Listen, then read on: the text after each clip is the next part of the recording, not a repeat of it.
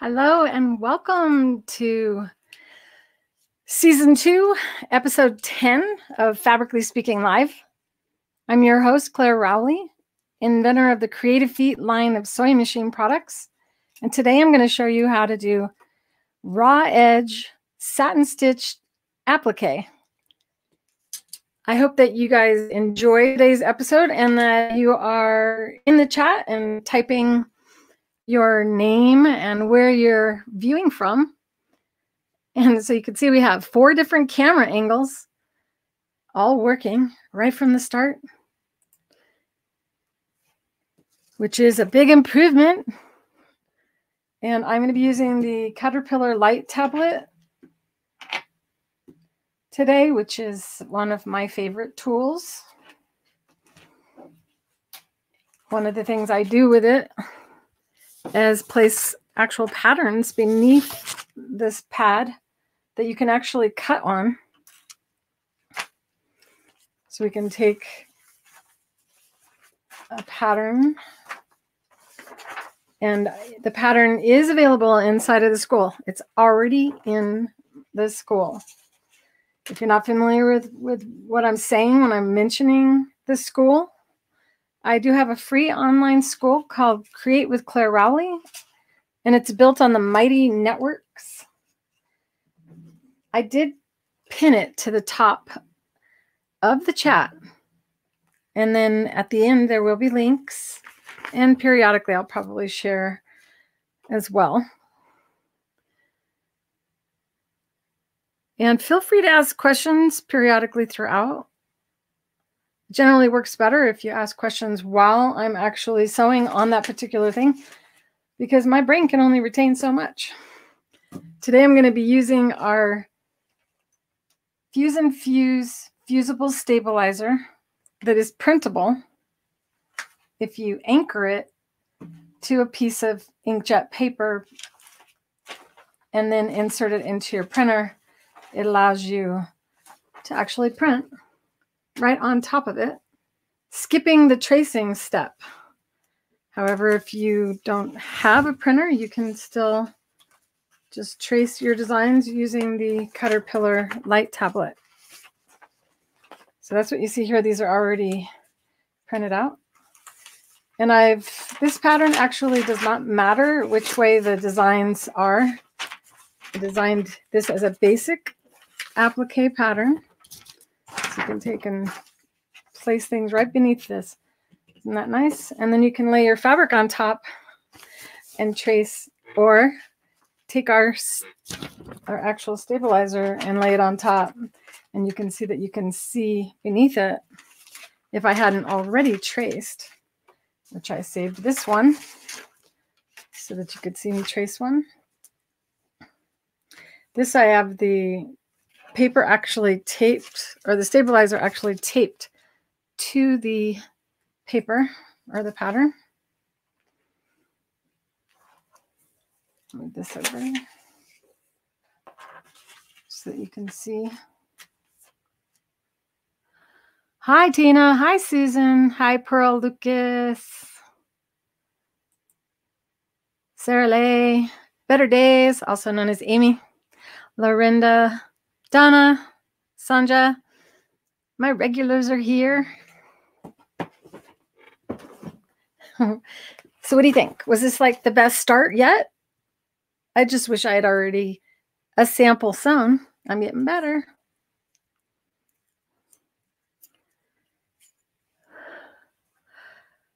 Not Sudi. I don't know what happened there.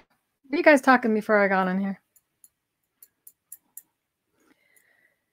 So we're anyone in Facebook and you haven't already allowed StreamYard to access your profile, you won't show up with your name and picture inside of what I see as I'm streaming live, which is StreamYard. So that is, this is the Cutterpillar Ultra. It is the biggest of the three options. It does, have, it does have three levels of brightness. And you can get it at creativefeet.com, but the link is right in the description of the video already. I'm doing great today. Yay. I can't go past five o'clock because I have to go to UPS. So we have a time limit, which is partly why I'm not going to be as distracted or easily distracted. Okay. So what we've got here is applique. How many of you have done it before? Have any of you struggled to have your satin stitch be consistent all the way around the pattern? Or had trouble just getting your pieces secured to your fabric? I decided to actually make a pillow. I'm doing a sunflowers theme in my living room. And some of it is inking, which will be other episodes coming up. Tinkerbell, would you like to start the day with hello? Come here Nope. just wants to stare at me. She's like, What are you talking about? Who are you talking to? so you're going to need, if you want to do this pattern, you're going to need just four fabrics. The fabric you're going to applique on, which is what I have here, which is a heavy fabric, kind of like a upholstery weight. It actually is an upholstery fabric. And then you need two different shades if you want, because you can actually just use the same colored petals all the way around. And uh, let's see here. Just to remind you, if you look at this, you'll see. I want to go on. Computer's a little slow. So if you're looking at this on the left-hand side, you'll see the dark fabric, and that is what I'm cutting out now. The actual pillow pattern is designed for a 14-inch square pillow. So you would need a 14-inch base material or a little bit bigger. Not It doesn't hurt to make it bigger when you're doing the actual project. And then you can always square it off afterward. Cutting behind the scenes here. Let's see. And just so you know, I have plans for other patterns releasing soon. I have this one. This is my Birds of a Feather series of patterns that I'm going to be releasing soon. And we will have video to support each of the patterns. My computer's lagging a little bit today. But I'm not. Are you guys all rested and ready to sew? Any of you actually have your machines on? I'm actually using my upholstery scissors. Oh, why that background didn't come on. Oh, well. Perfection is in our future. Maybe. Upholstery scissors is wise if you're going to cut upholstery. They're designed with like a snub end that makes it so that if you do cut to the tip, you don't bend or cause the scissor blades to bow.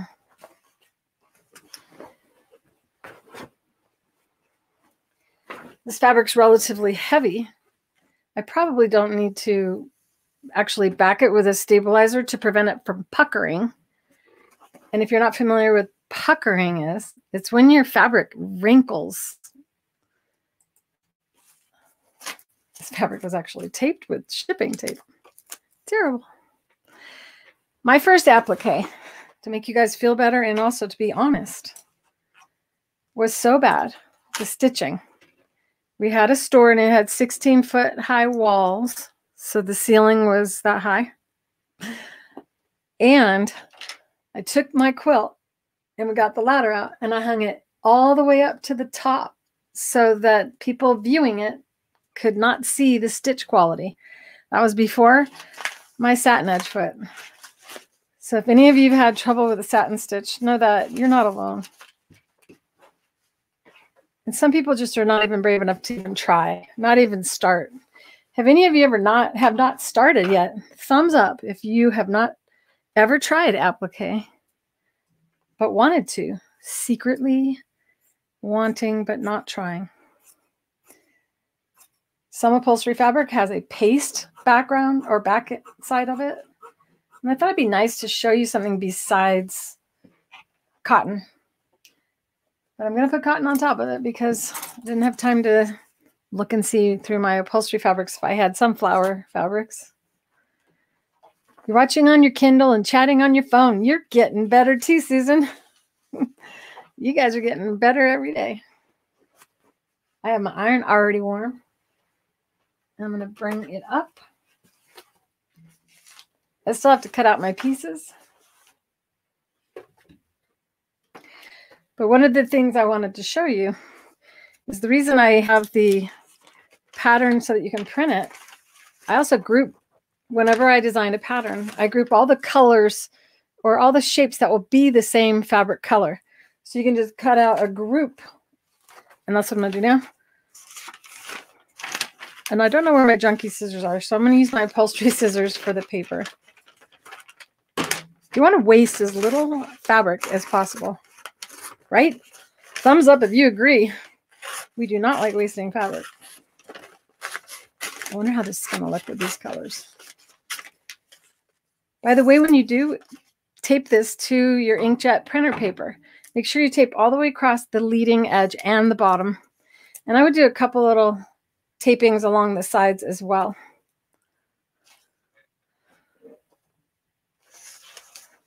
You've been sewing all day, Donna?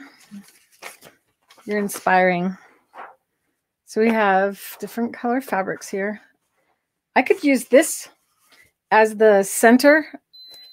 Oh, no, no, no, don't turn off yet.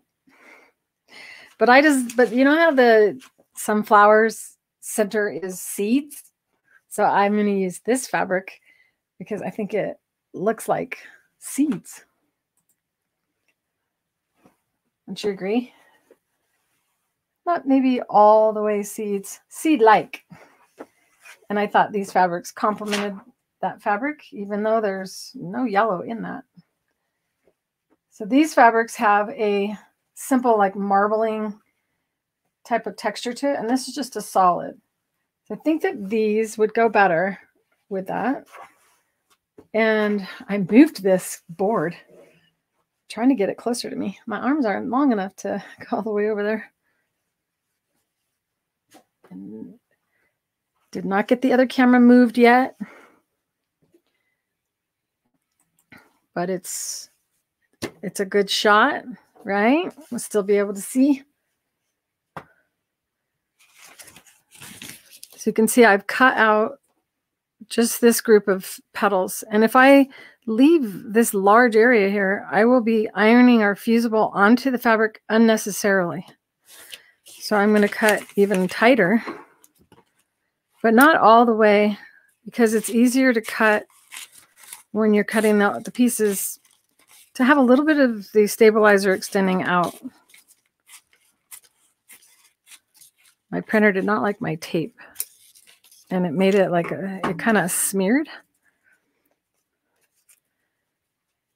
And the type of tape that I used was shiny on the outside. So if you have a matte type of clear tape, that would probably be better. To save myself from having to iron each one of these pieces separately, I can now take this and apply it to the wrong side of this fabric.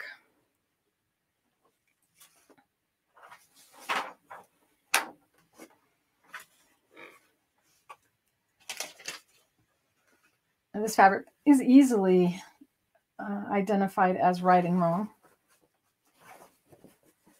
Make sure that if you have a crease that you iron it out if it's going to get anywhere near it. I'm all right, so I don't have to do any more. Make sure that the paper doesn't extend. I gotta move this even further. I thought I made it better for myself. You know what? I'm going to have you look at this while I readjust this camera. I even tried to have music, but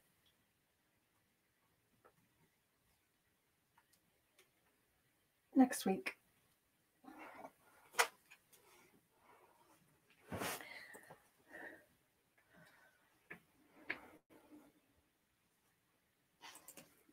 I think what's going on with this camera is that it's moving after I adjust it. So I guess you're going to have to see the top of my head a little bit. Better than missing what I'm trying to show you, though.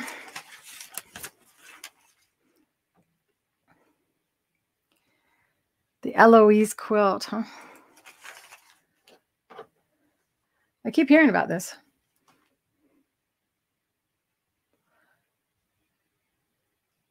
I need to learn more about that. Maybe we can do it.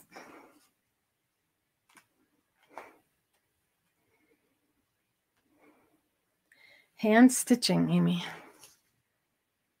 Nice. I did some hand sewing the other day for my friend Terry. Every once in a while, it's nice.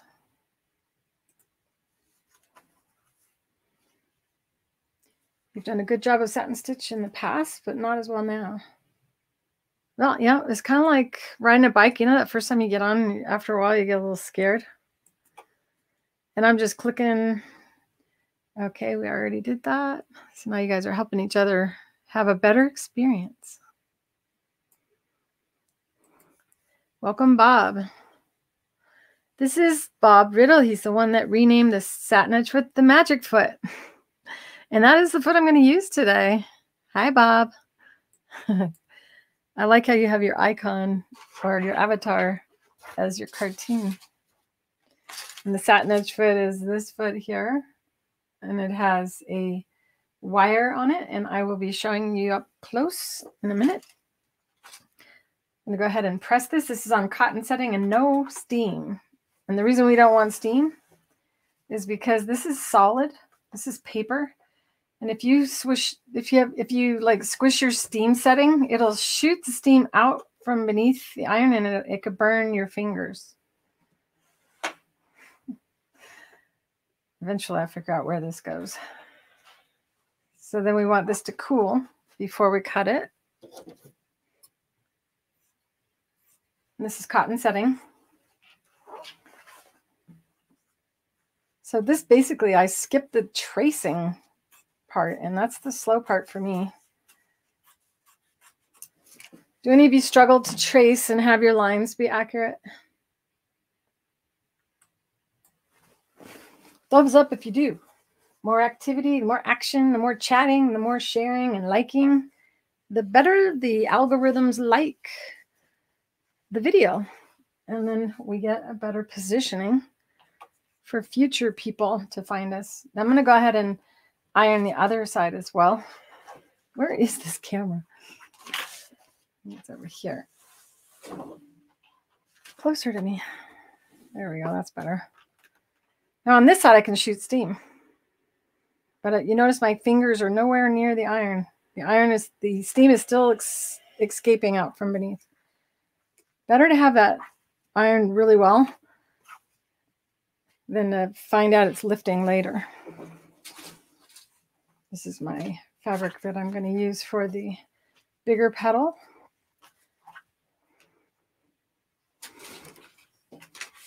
And if you're wondering about where to find the free pattern, it's inside of my school. If you haven't found your way there yet, it is pinned to the top of the chat. Create.clarerowley.com. So I got all these creases to get out.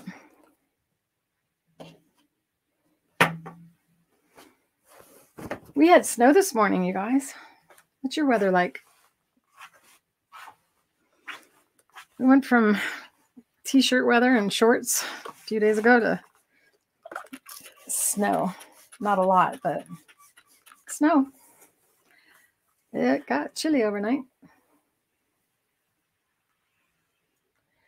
And you notice I am ironing this time. I'm moving it across. It's not as critical to press when you're going to iron a shape with a fusible because the fusible is going to remove all the bias in this fabric. I only need it big enough for that. So we've ironed enough.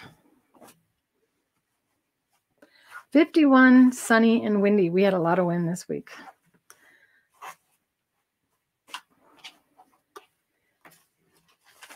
Okay, now once again, I really need to trim this up so I don't waste fabric.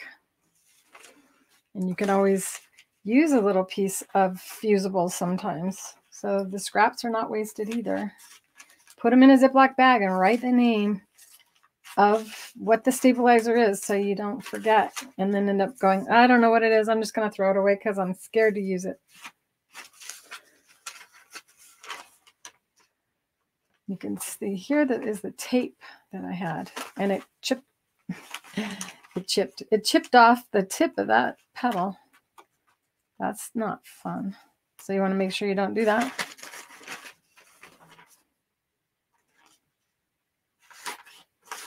This is when I sit there and expect you guys to say something out loud so I can hear you talk. I believe it's season two, episode 10 already. We've I've opened up a new group inside the school. Inside is Fabricly Speaking Live, and every one of the episodes is in there. And then inside of each episode, I post where to get the pattern, if there is one for that episode, and supplies. So be sure. Oh, and by the way, this is um, exactly the same petals. Everything is exactly the same. So there's no mirroring needing to be done. If you're familiar with mirroring, if you have an applique and it's an R and you iron the R so that you can read it onto the back of the fabric. When you cut out your R and you flip it over, it will be backwards. Another applique hint, if you're going to work with really light fabrics, light color, like a really light white fabric, and you're going to lay it over this fabric, you would iron a permanent fusible stabilizer to the back of the fabric before you apply your pattern. And it makes your white fabric thicker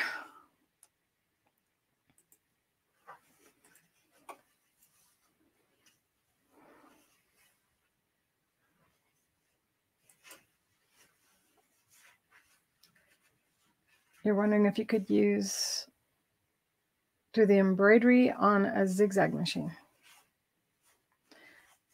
Uh, if you're referring to last week's episode, I had the shirt somewhere.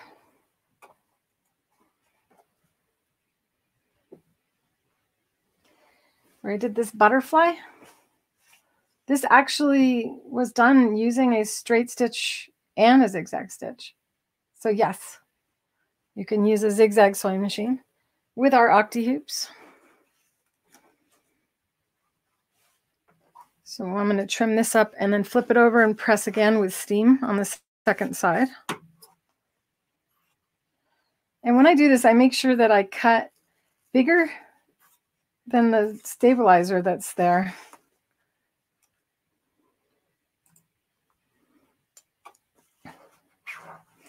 And the reason I do is because if you leave a little fusing on there, you may not notice it one day and then iron it to something. And we don't want to have to clean our irons. Have any of you ever fused your fabric to your iron before? If you have, hit a thumbs up.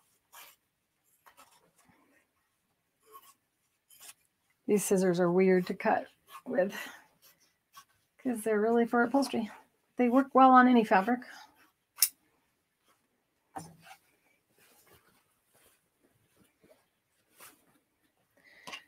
Okay, so now flipping this over, the steam will go into this material better than the paper, but I still, as before, get your hands away. We have a little bit of interference with the camera right now.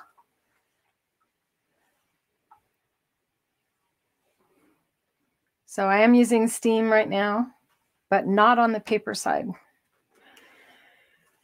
One more piece to cut, the center.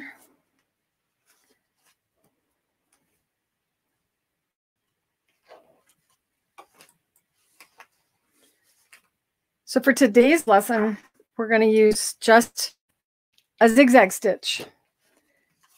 I already have tutorials on doing blanket stitch applique, such as our um, my Wise Owl shopping bag, which is a really good lesson for doing blanket stitch. And it's similar. You can see the little pieces. The owl is on the machine, hasn't been stitched yet. And we had to cut out all those pieces and then iron them on. So the same process is being done here. And then this pattern, this one is free motion embroidery and quilting. I mean, free motion embroidery, free motion applique mixed with blanket stitch applique done with the foot. So the parts that are done where it's done free motion applique are the arms and the nose because the actual arms are narrower than any fabric will ever be. So if you're trying to figure out if you can applique something, keep in mind that the piece that you're actually going to make out of fabric must be big enough to also have a stitch formed on it. Otherwise, you then can incorporate the Octi-Hoops and do free motion over that.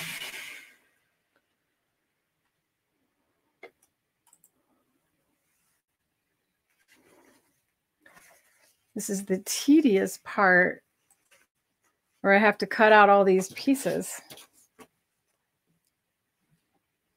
So I thought I'd give you something to look at. And this is a part of the book.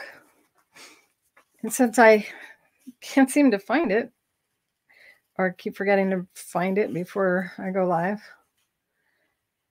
this is one of the, just a couple pages of the applique actual process or the technique inside the book. This is an example showing you how my book is designed. It is a workbook. So at the top, you put your machine settings and I tell you how to get your fabric ready and then you make a sample. And the sample is what you see on the right hand side, page 73. And in that lesson, you learn a variety of different shapes and angles and stitch styles. I have technique called um, applique enhancements. And that's what you see in that circle, that circle in the upper left-hand corner of the far right section of that image. And you can see how there's a bunch of stitches going through it. So it makes things look different instead of just the standard satin stitch. And then if you've been challenged to do applique, it's usually because going one direction is easy. And then all of a sudden you have to switch and maybe turn a 130 degree angle or a 90 degree angle. And then the stitch has a left and a right swing of the needle. And your brain, depending on what time of day it is or night it is when you're doing it, may be just completely overwhelmed and have absolutely no idea which which swing to lower the needle in either the left or the right and you think you got it great right not great unless we want to create a new word. And then you find out you don't and your needle swings way out in open space. Does anybody know the solution? If you lower your needle into the wrong spot how do you get your needle out of the fabric without stitching and without being a naughty sewer and not following the rules of never turning the hand wheel backwards? You just can't. So it's better to never do it wrong. So no mistakes. How do you never put the needle down in the wrong spot? And that's usually done ahead of time when you're rehearsing. You're getting ready to actually turn the corner and they tell you to lower the needle, turn the handle towards you until the needle swings left and right, and then lower the needle in one or the other positions and you lift, you do that. Then you lift the foot, then you turn the fabric, then you lower the foot, and then the needle swings out in outer space. So how can you eliminate that? You just don't lower the needle on the corners. And I know that may sound insane, but that's how I do it. And that is how you will do it with the Satinedge foot because you cannot turn a corner with the Satinedge foot with the needle down. 61 degrees. Where are you, Susan? That's almost bathing suit weather. You always keep your stabilizer and interface scraps better days. I do as well. I have a bag full and I can tell which one's which. But the Ziploc bag is always a really good idea. And put the instructions inside. Even better. Know that each one of our stabilizers comes with the instructions. It's part of the label. And we have the images representing the animal. When we have you work with two stabilizers at, in one particular project, which I'm going to do today, I'm going to use hold light on the bottom, even though this fabric is, well, is pretty, you know, strong. So it's not likely to pucker. The reason I put hold light on the bottom is because it's slippery so have you ever slipped on ice? I did. I had a bad year one year. I fell three times in like a, a week and a half. And once on black ice in Chicago, going to the International Quilt Festival in Chicago, Illinois. 62 in Paducah. Nice weather for there. See, now I'm like, ooh, I would just love to go out to dinner. Where's that place? Well, there's so many good restaurants there. You're in Laughlin, Susan. Well, that's pretty cool for Laughlin. But then it's cold here. Did you have snow this morning as well? Hawa Bibi Patel. Did I pronounce your name right? It's an awesome name. Makes me think of Hawaii. Sorry for making you watch me cut paper out. I'm almost done though. Then we can get to the fun part. So the hold light is like having ice skates or the foot. Where's the foot? Let's see. The the fabric becomes like slippery ice on the bottom. And that's important because what we're going to do is we're going to be applying our fabric to the top I have bags under there. I've got um, batting scraps because that's a whole nother animal. Things that are fused to other things bag, and then a, just a fabric scraps bag, and then the trash. Black ice is terrifying. Fell back, hit my head. That was my arrival to right out of the airport. Go to the rental car and slipped on black ice. Somehow I managed to survive that. And never hang clothes to dry without putting a towel underneath. In a room with a slippery floor. I did that like right when I got back. And then one day my daughter was spraying Pam over a pan. Instead of over the stove, she sprayed it over the floor and the Pam went on the floor and I went through. And so all of those happened within a week. And this is what happens when I have time in between. When we put our pieces down, some pieces are going to go below and other pieces are going to go on top. And this is the pretty side.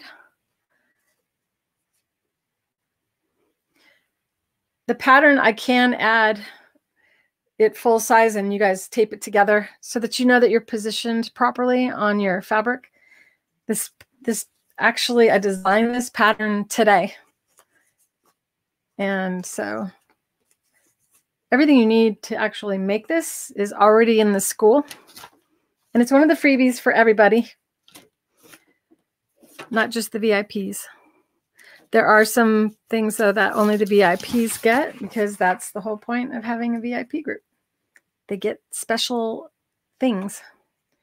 I still I have to cut out my center now slide this aside.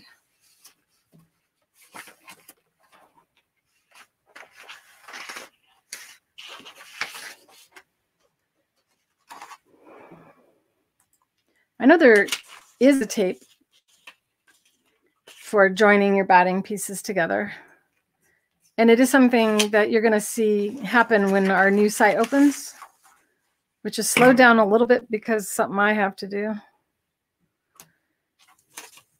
But the uh, these are the kind of things that would be great to, for you to put in the school in the quilting board and go, you know, carry the tape to fuse the battings together. And then I don't just grab whichever one's out there. I'm going to test them and determine which one's better. Just like I really didn't like the the wool mat. And uh, I was so excited to carry those. And then I went, you know, I got to test it. So having animal smell is, I just couldn't do it. So I'm going to use a Sharpie and transfer this. And since this side and this side are straight lines, instead of trying to guide straight, just use a ruler and put the ruler next to the line. And whenever I use a ruler with my ruler, I mean a marker with a ruler, I use the extra fine markers. Or you can use a pen that's going to iron away. A lot of patterns require that you place things in a specific order. And so the pattern pieces will have like A, B, C, D on each one. This is a basic, a very beginner applique. So if you're new to it, this is definitely something that you can do, even if you've never done it before. This would be, they're very simple shapes. And only really three different shapes. So by the time you're done making petals, you'll be so good at petals. You'll be looking for patterns with petals. I also have a, a uh, pattern coming out for paper piecing, and it's a sunflower. So that will be coming out. There we go. Now, when I iron this, that shape that I just drew will disappear. And since I have to iron this to the fabric, and then I usually cut after, I'm going to use a marker. But I didn't get my ruler dirty by doing it this way. So now I can just trace right back over it. And when I'm done ironing this, the pink will have vanished, but the blue will still be there. And this is an alcohol pin. Once it dries, the alcohol has evaporated some of this actual shape will end up in the seam allowance because this will ultimately be a pillow. If I get far enough, I'll make a pillow. If not, next week, I'll make the pillow. And I think that's what I'm going to do. Next week, I'm going to show you my technique for constructing pillows using the top from today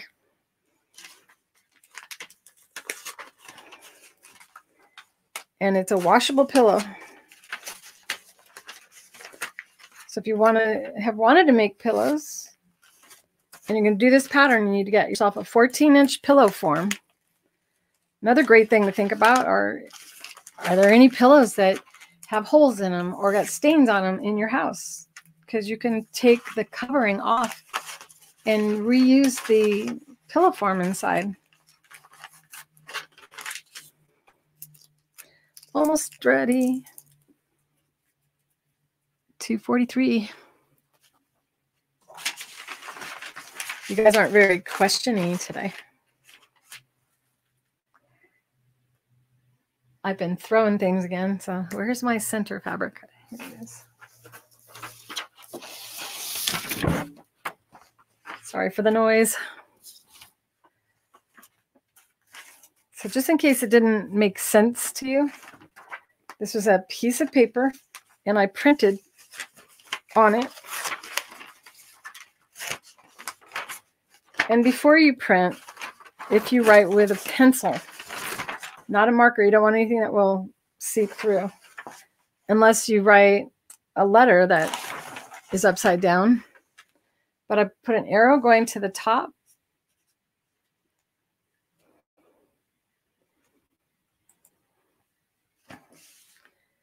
So before you print, it's plain white paper and you just draw an arrow and then you can do an R, meaning right side. And then you print. And then wherever this is, doesn't matter what direction it's going. When you tape this, you make sure that you enter it.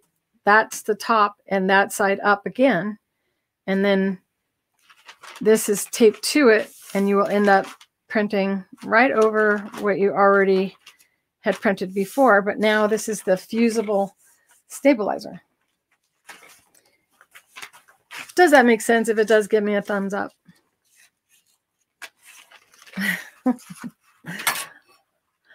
Thank you, Better Days. It felt good to finish the pattern before. I know I'll probably need this again, but I have a drawer for that now. Nope, nope, we don't want you to turn off yet. Almost. Now it matters. Now I have to know that I have this positioned. This is the the nervous, the scary part. But if you cut this fabric bigger or significantly bigger, and you have big rulers, how many of you got lots of rulers? How many of you have more rulers than you ever thought you'd ever own in your lifetime?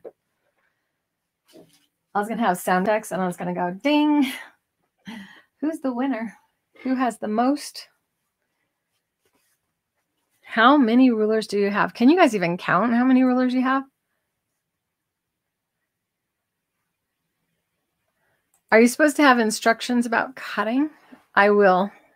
As I said in the beginning, the pattern has everything you need in order to do this, and I will be adding to it. So if you printed out the mask pattern and you got it the minute it uploaded, I changed it several times since so that it's even better now. As people ask questions and I realize I could have done a better job, I've been adding to it. This is the next piece I need to iron. And this is a batik. Now, since it's not been uh, ironed, since I folded it, and I, I'm pretty much used this or follow the same practice that when they make, after I pre-wash something, I iron it or fold it with the right side out. That way my brain never has to think.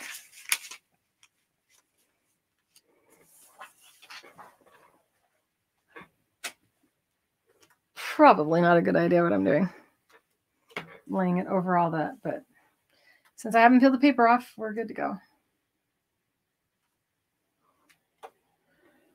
Watch out for that steam. Should have it turned off. No steam.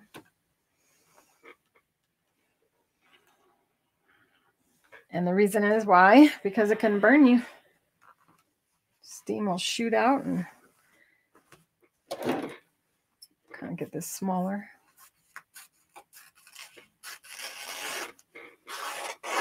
It's Christmas wrap. okay.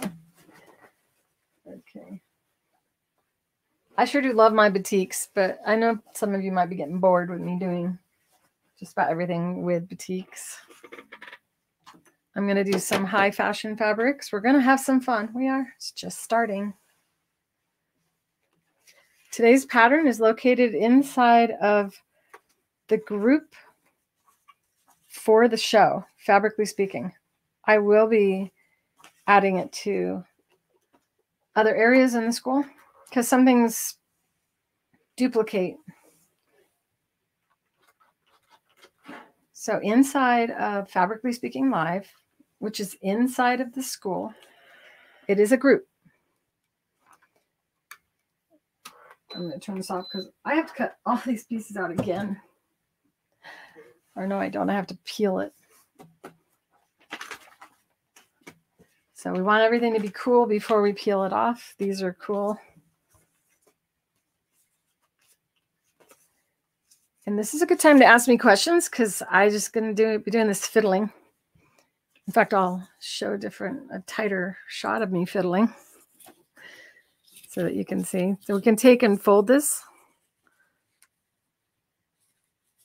Just kind of creasing. And this is the paper.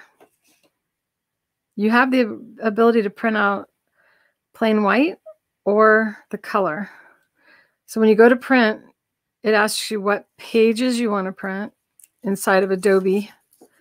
And you can say print all, or you can say print current picture or current page. And when the, whatever page is up is the page that you will see.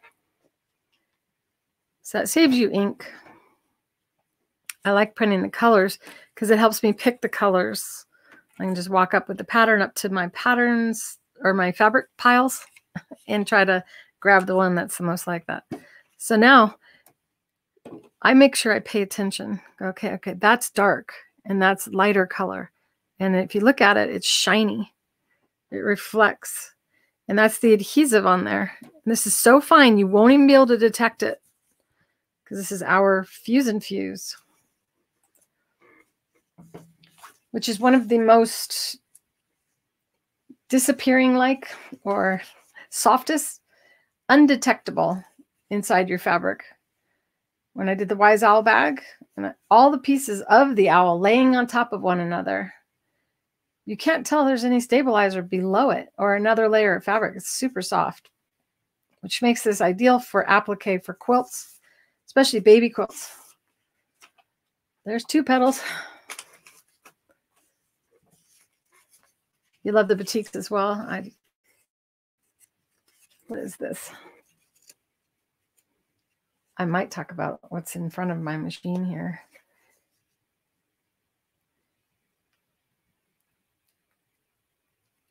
You still you steal your son's tools? My son always stole my measuring tapes.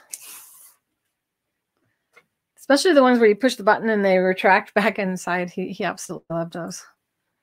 He ended up being a math major. So it was all worth it.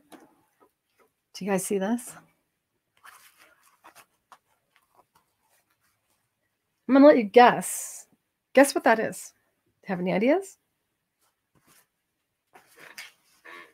It's a pattern that will be coming up. Got my noisy chair. I was thinking about not even having a chair that has wheels. Get rid of the noise altogether.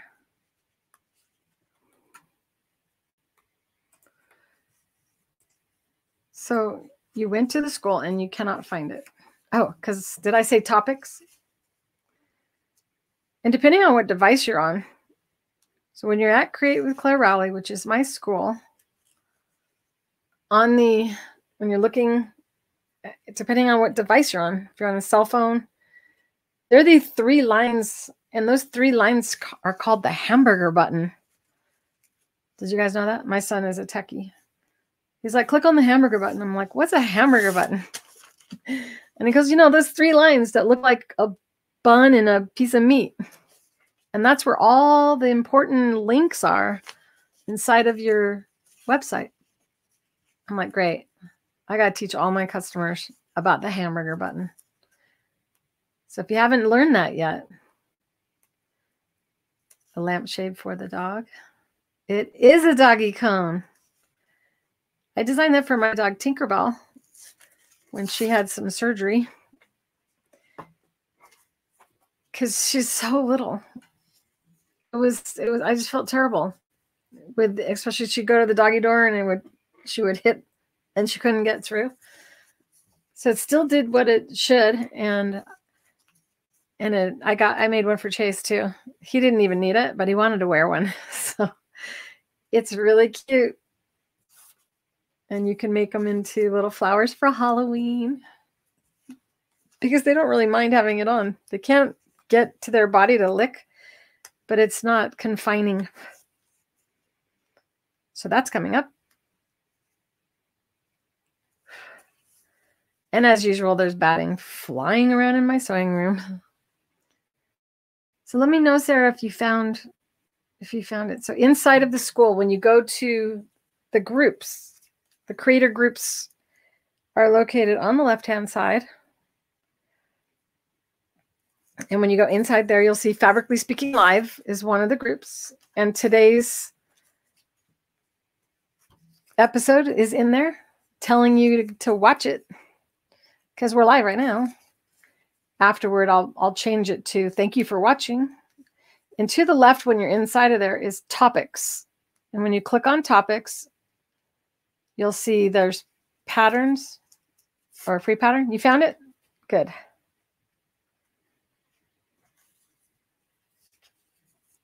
But not at the school. Oh, okay. So under my link at YouTube, you were able to click on it because I had a link to the group in there. I think I'm done with this. Oh my goodness. All almost to the sewing part. Got to cut this out.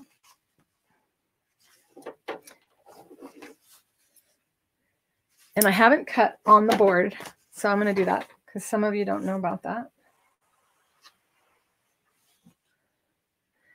That you don't have to use, you can cut right on top of the light. Did you guys see where I put my ruler? Squeak. I'll get better at giving you guys direction. But know this that inside of the school, in every group and every topic, or in every group, there's a topics. And that's where I'm putting patterns and the supplies that you need. For instance, on the mask, I had those little rings and I gave you three different types of rings to choose from in there because some people are allergic. Oh, by the way, I was going to show you how there's the lines that were the pink have vanished. And all I'm left with is my not very straight blue line that I drew. But I'm going to use a ruler to cut so it'll be nice and straight like this one is.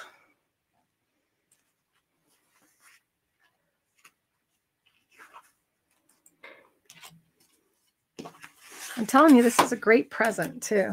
If you know anyone who likes sunflowers, I think I think you're pretty much safe to give someone a sunflower anything, don't you? Or is it just me? So I don't trust myself going around a curve. So I'm not going to do it. Use my scissors. Elbows down. As always, elbows down, you have more control. And even your hand down. And move the, the fabric instead of lifting your arms, trying to maintain your arms in the air because you become wobbly. And while I love the Appliquick scissors, I would never ruin them on paper. These are my upholstery scissors, which is nearly impossible to ruin. The blades are really thick. All right. Are you guys excited? I'm excited. I got to iron the hold light to the back too.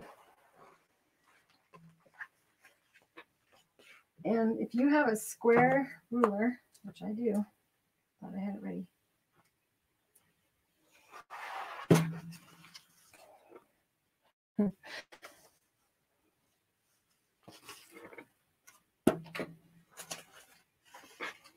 Where is it? I don't know, you guys.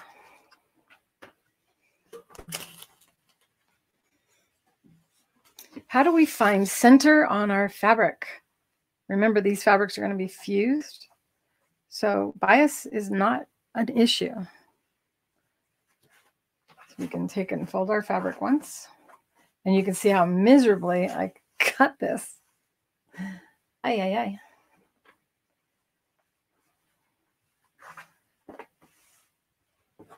I'm just going to use the iron. I got iron pieces anyway. Time to warm this back up. When I think of sunflowers, I always think of my daughter. So she used to wear a big full size flower in her hair.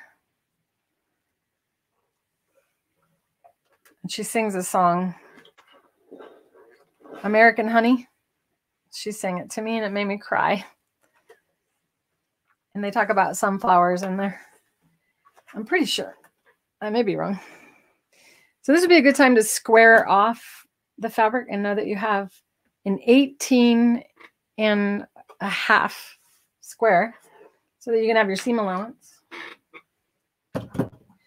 Don't let that iron cool off. And this would be a good time to have my big cutting mat on here with the lines.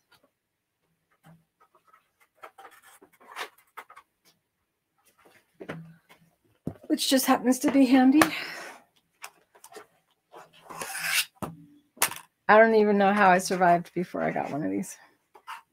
So it has the lines on it.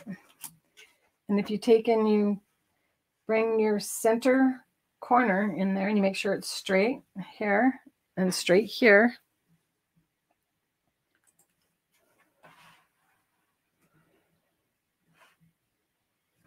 Okay, I can move it over a little. So you just have to bring it to a square point and then you swing it up, make sure it's straight here. Make sure it's straight here.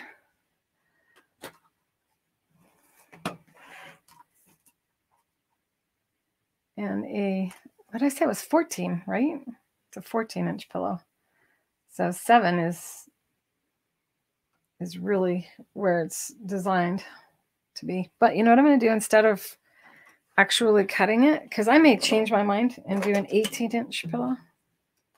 Can't really do that, can I? Change my mind. Do a 16 inch pillow form.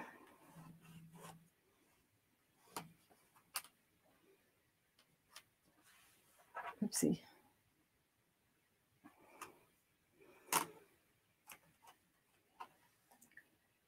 Can't see it. There it is.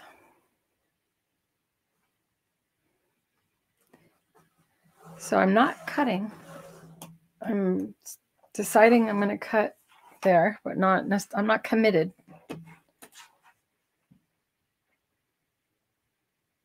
And I want to do the same thing this way.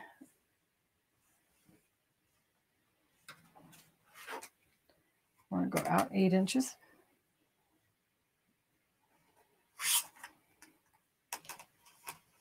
Because I cut so terribly to start with, I'll be able to tell if I can do this.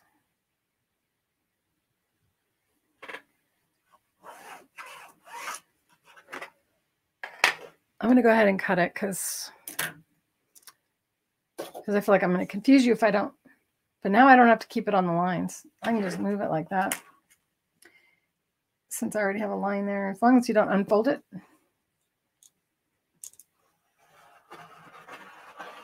And why I do that is because I don't have that way I don't have to move since I'm filming.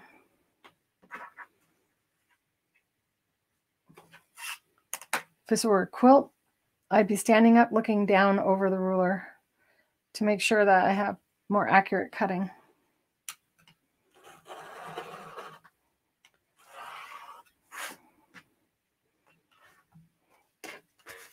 So next week, you already know what we're going to do.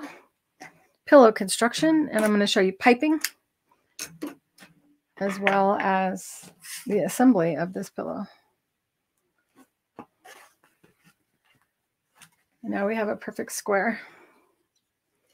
And we can position in a little bit. It's going to be half inch seam allowance. I don't know, but we don't have to position it yet. Just peel the paper off first. And I'm going to use the glue.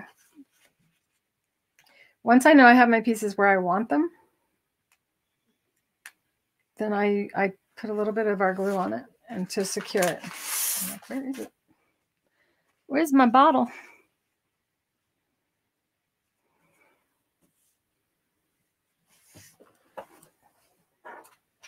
In my cubby. All right. I don't know why I grabbed my presser. This is your chance to really be accurate in your placement of your piece before you iron it and make it permanent.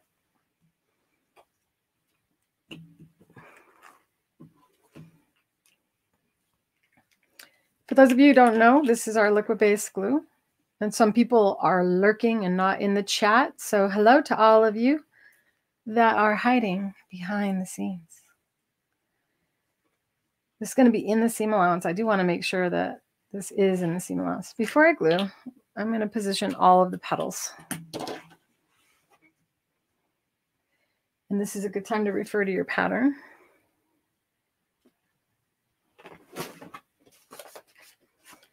So you can kind of see how it should be placed. So there is one that comes out from the center if you were to divide this in half. So this is a cheater way if you don't have you don't want to print out the piece.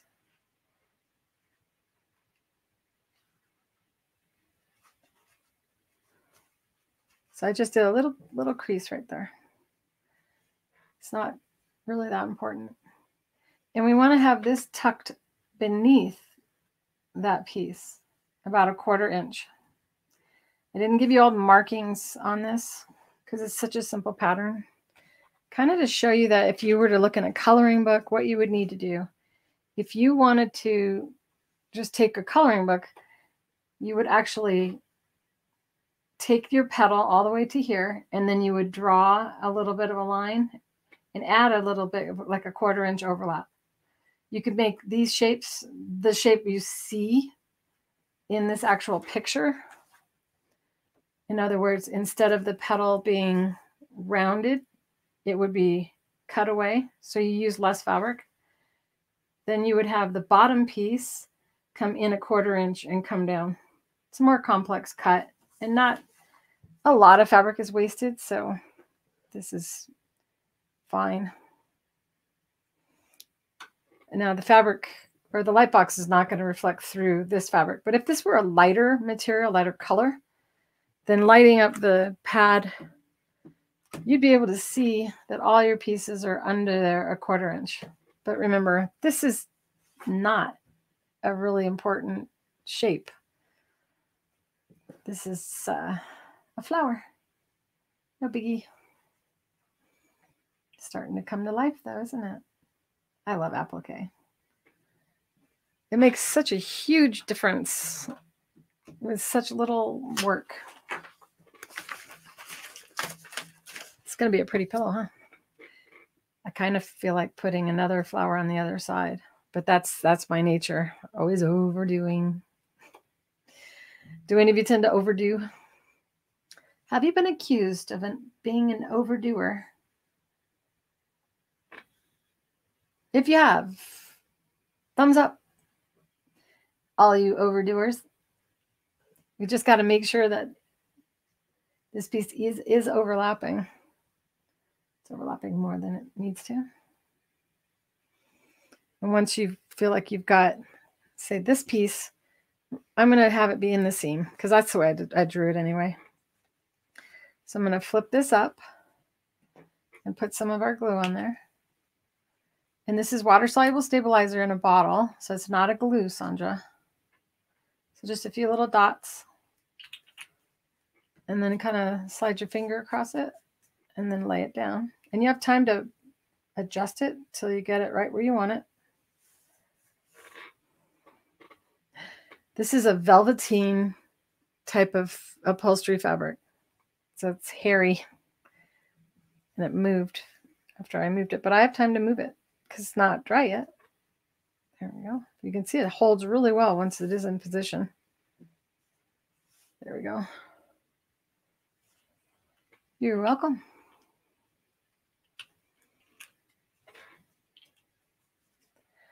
Hi, Ellen from Pittsburgh. Well, I'm glad that you're enjoying yourself. And uh, I, I never really know if you guys are late. Only you know if you're late. So if we just leave those dots there, it's no big deal in this in this particular case. Now I have the opportunity to go, okay, so that's a quarter inch. And slide it under there just a little bit, like a quarter inch, and then put a dot. If you put a dot in the center of your piece and kind of spread it out a little bit, then you can actually put your finger in the middle and kind of rock it until you get the piece exactly the way you where you want it to be.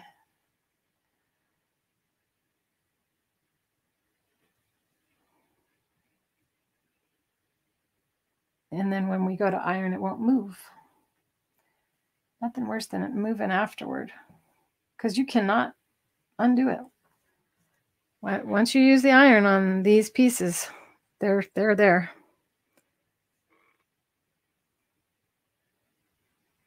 And for those of you who have the Octi-Hoops, once you have your pieces here, you can take this underneath the hoop.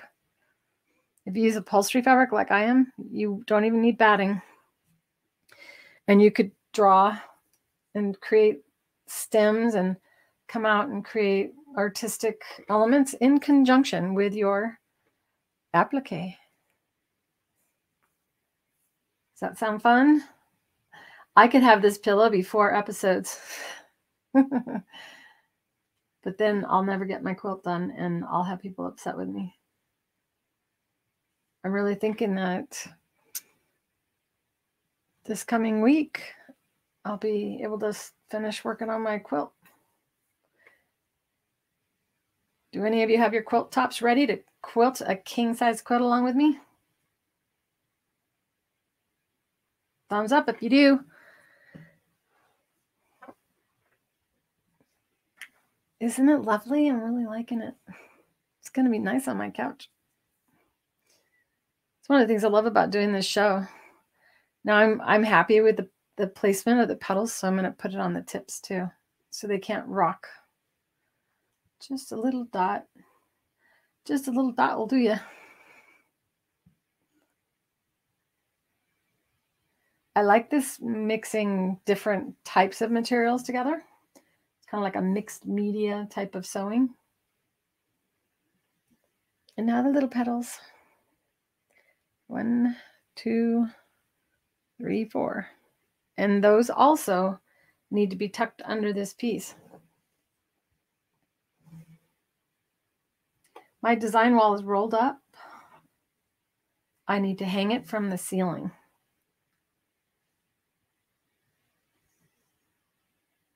and I've been taking pictures of the design wall construction so that you guys can make one. But if you want to be like ahead of, ahead of schedule, I use the roll up blinds that you buy. They're solid and vinyl. And they have like a plastic on the bottom that you can pull on and it and then it retracts up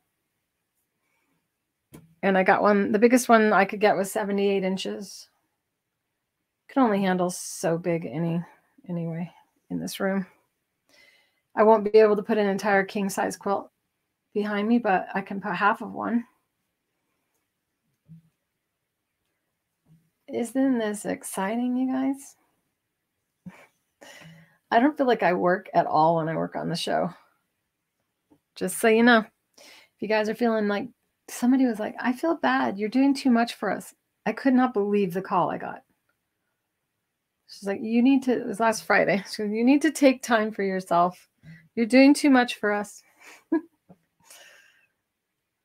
You're almost ready to put your blocks together? Cool, Donna. So, see, this is, there's no reason not to do this to make sure things aren't going to slip. And then know that the paper that you removed is ironable. So if you don't have a Teflon sheet, where'd that big piece go? There it is. You can lay it down over it and use that as a pressing cloth because it has the wax side and it's designed to be ironed on. And this is a time when you press, don't iron, and no steam. And I'm counting, kind of, not really. if I were counting, how long would I have done that for? So know this cotton burns at 250 degrees. You're at a cotton setting. If you're going to leave this down too long, then you can start to burn the fabric where there is no pressing cloth. So lifting and moving, definitely pressing this time, not ironing. Pressing is lifting and moving. Ironing is moving the iron along the surface.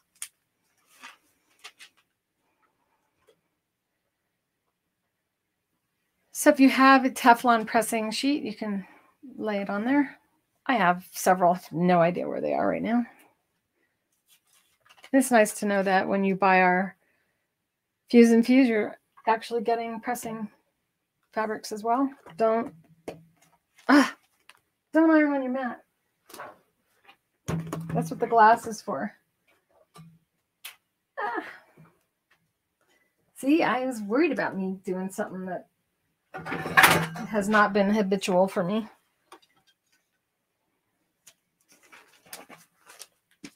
My mat could be warped. Bummer. Oh well. It's a good thing they're not very much. And for those of you who don't know, their products are really affordable. The Cutterpillar glass you can iron on. And then you don't have any, you're not at risk of warping the board beneath. so upsetting. We'll see if it if it damaged it or not. Yesterday or last week I wrote on it. I'm in rare form. Then you flip it over and I'm going to use steam on the back and push steam through using my ironing pad.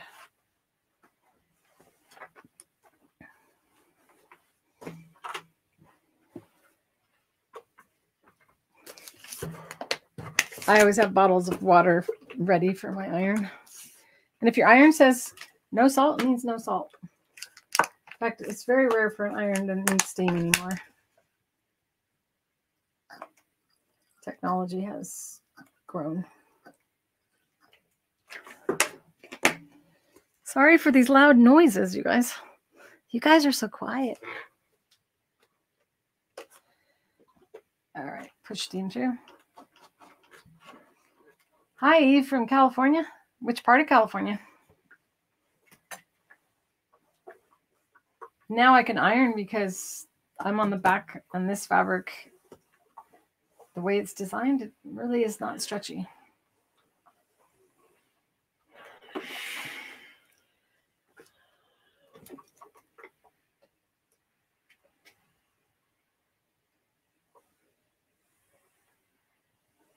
So, Sarah, you have your knee in a cast right now, huh? And then you can run your finger along. See that this point is not down. This is a velvet. It's not really, but it kind of feels like it. And I think it's risky to iron on velvet. Now I don't want steam. I don't want to get burned. Boy, that turns off really good, the steam. Make sure all your points are really secure. And all your edges. This is your chance to make sure everything's ironed down. And know this, once our stuff's ironed down, it stays down. Other brands will lift up on you. Can, anyway. No more ironing. Time to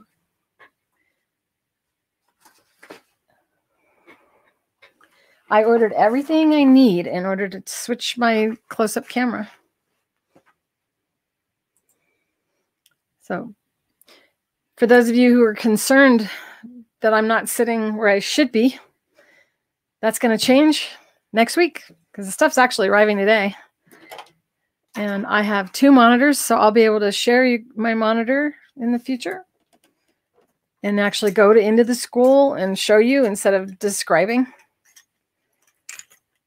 I love my cubbies. I should write on it which episode it was. Okay, to move this out of the way. Remember, we're always sewing with our elbows down. So make sure your mat isn't, your elbow isn't going to be on the edge of your mat or anything else on your table.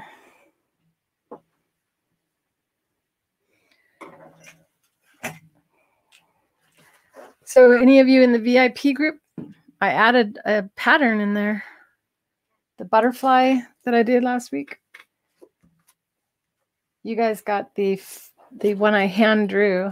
I went in and drew it digitally.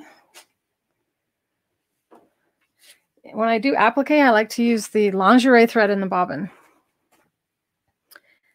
And the lingerie thread is what I used last week on embroidery. I'm so glad that uh, my show is helping you through your. Ah, I need to put a hold light on the back. Okay, wait. Do any of you remember what setting you're supposed to use with the hold light?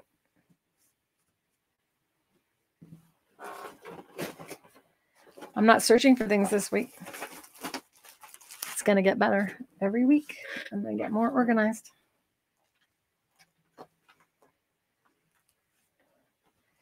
How do you get to the group? I have a keyboard. I can type it again. Unless one of you has enough experience where you can copy and paste the school's address. It is pinned to the top of the chat, but when the chat gets long, it gets harder to see it. And it is also after this is over, if you're watching this after and we're no longer live, it's pinned to the top. It's also inside of the description below the video. And that's where I'm kind of showing you where it would be. So right now we're live. And when we're live, if you're seeing the chat, you can click this little arrow down and then the chat will be hidden. And then you can go into the description. It says hide chat, view chat, or something like that. Afterward, you can get yourself back here to the live chat, unless we're not live anymore. And today is March 11th, 2021. And this is season two, episode 10 of Fabricly Speaking Live. Now, what I want is I want the hold light to be on the back of the overall piece. And what this does, especially if this fabric is the same type, you decide you're going to use all, all cottons, it's really important that you support the main body. And this is what I call the main body, the full piece, the square. You want to have the main body supported with the stabilizer on the backside to stop it from puckering or getting wrinkles around the, the pieces that are fused because the pieces that are fused are stabilized. And this isn't. It's just laying there. It's going, I'm going to get puckered. Give me something to support me. And this is the best one. It's the same one we use to stop t-shirts from stretching when doing embroidery. If you remember me talking about it last week, it's the same one, but now we're going to use it as a backing for applique. Shiny side to the iron. And you need a piece bigger than your applique piece. In this case, you don't need to do the entire 16 inch square. I noticed you joined the VIP, Donna. Thank you for joining. I can't wait to see you guys embroider those butterflies. I expect you guys to do these things, by the way, you know, not just watch me work. Are you guys feeling like you're understanding how the school is set up better now? Yeah, you can't copy and paste with a phone, can you? Well, you can. It can be tricky sometimes, though. You put your finger down on a link and you hold it instead of tapping, and sometimes it'll let you copy it.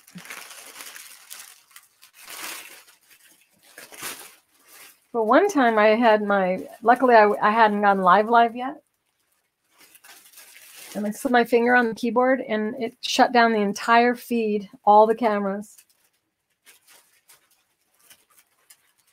Next week when I have another monitor, I'll be able to share my screen better.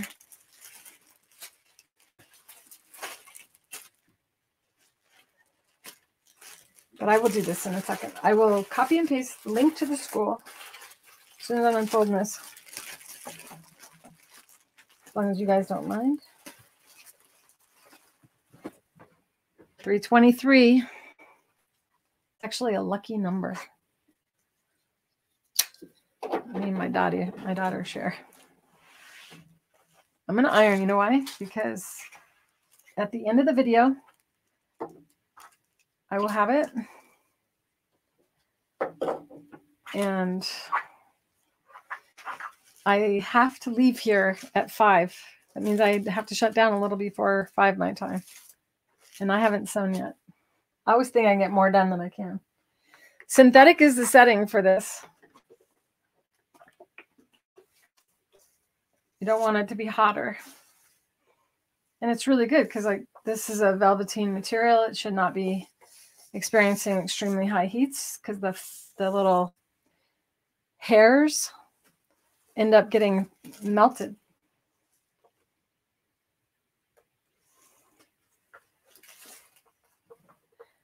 You think my sewing machine is clean? Is that another word for cool or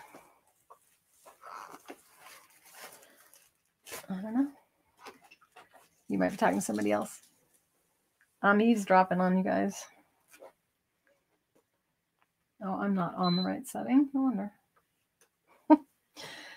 Too cool. But that's one of the really neat things about this product is that you don't have to use a high heat on it. I thought I shut the steam off. This is definitely a stabilizer you don't want steam with because it's 100% like waterproof. And so the steam will shoot out and burn your fingers.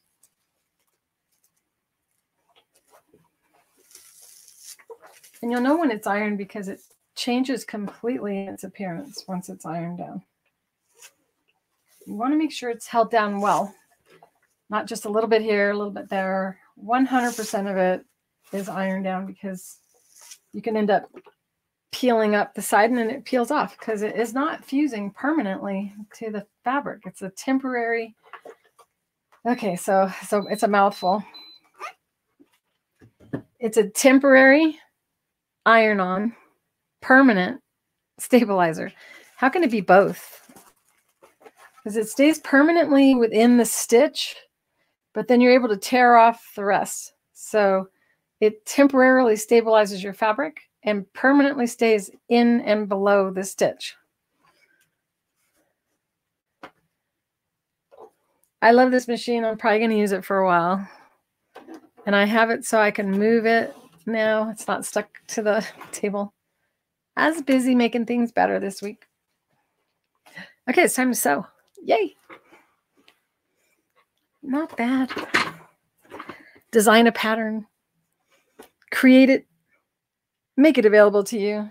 Let you all know that I went live to this time because last week I didn't let you know, I don't think. I still didn't get a newsletter out, but that's why you should join the school because the school people get notified. Now, the order that you sew is from bottom to top. So when you're looking at your embroidery or your applique, which piece is below all the rest? And that is the one you want to start with. This will be the final piece that'll go over. And we're going to go ahead and start right where these two fabrics join together. And the stitch we're going to use, I'm going to um, show you the settings for this. We're going to use a foot first. So I'll do that first. And this is the Satinedge foot. It comes with instructions on satin stitch edges on applique. So in the booklet, you would set up the foot according to the applique instructions. And I've designed this booklet and all of my instructions to prevent you from messing up if you have a computerized machine. So these are the machine settings, pressure for pressure normal, which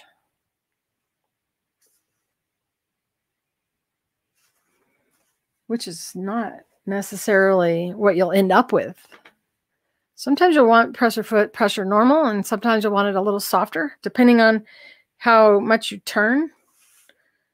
So, and uh, the settings, let's see, let me put the foot on. This machine has a snap-on or is designed as a snap-on foot machine.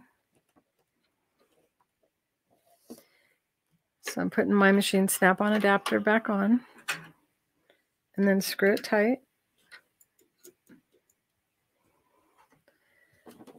When you look at this foot, you'll see that it has a wire located inside of the zigzag opening.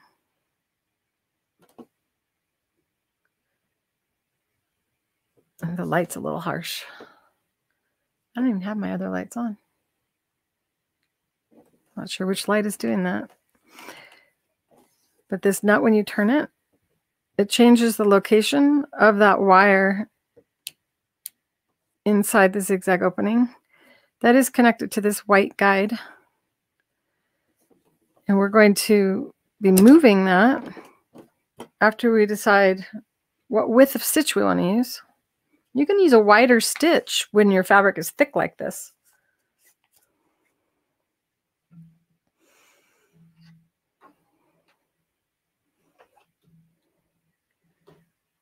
Getting ready to use the cell phone here.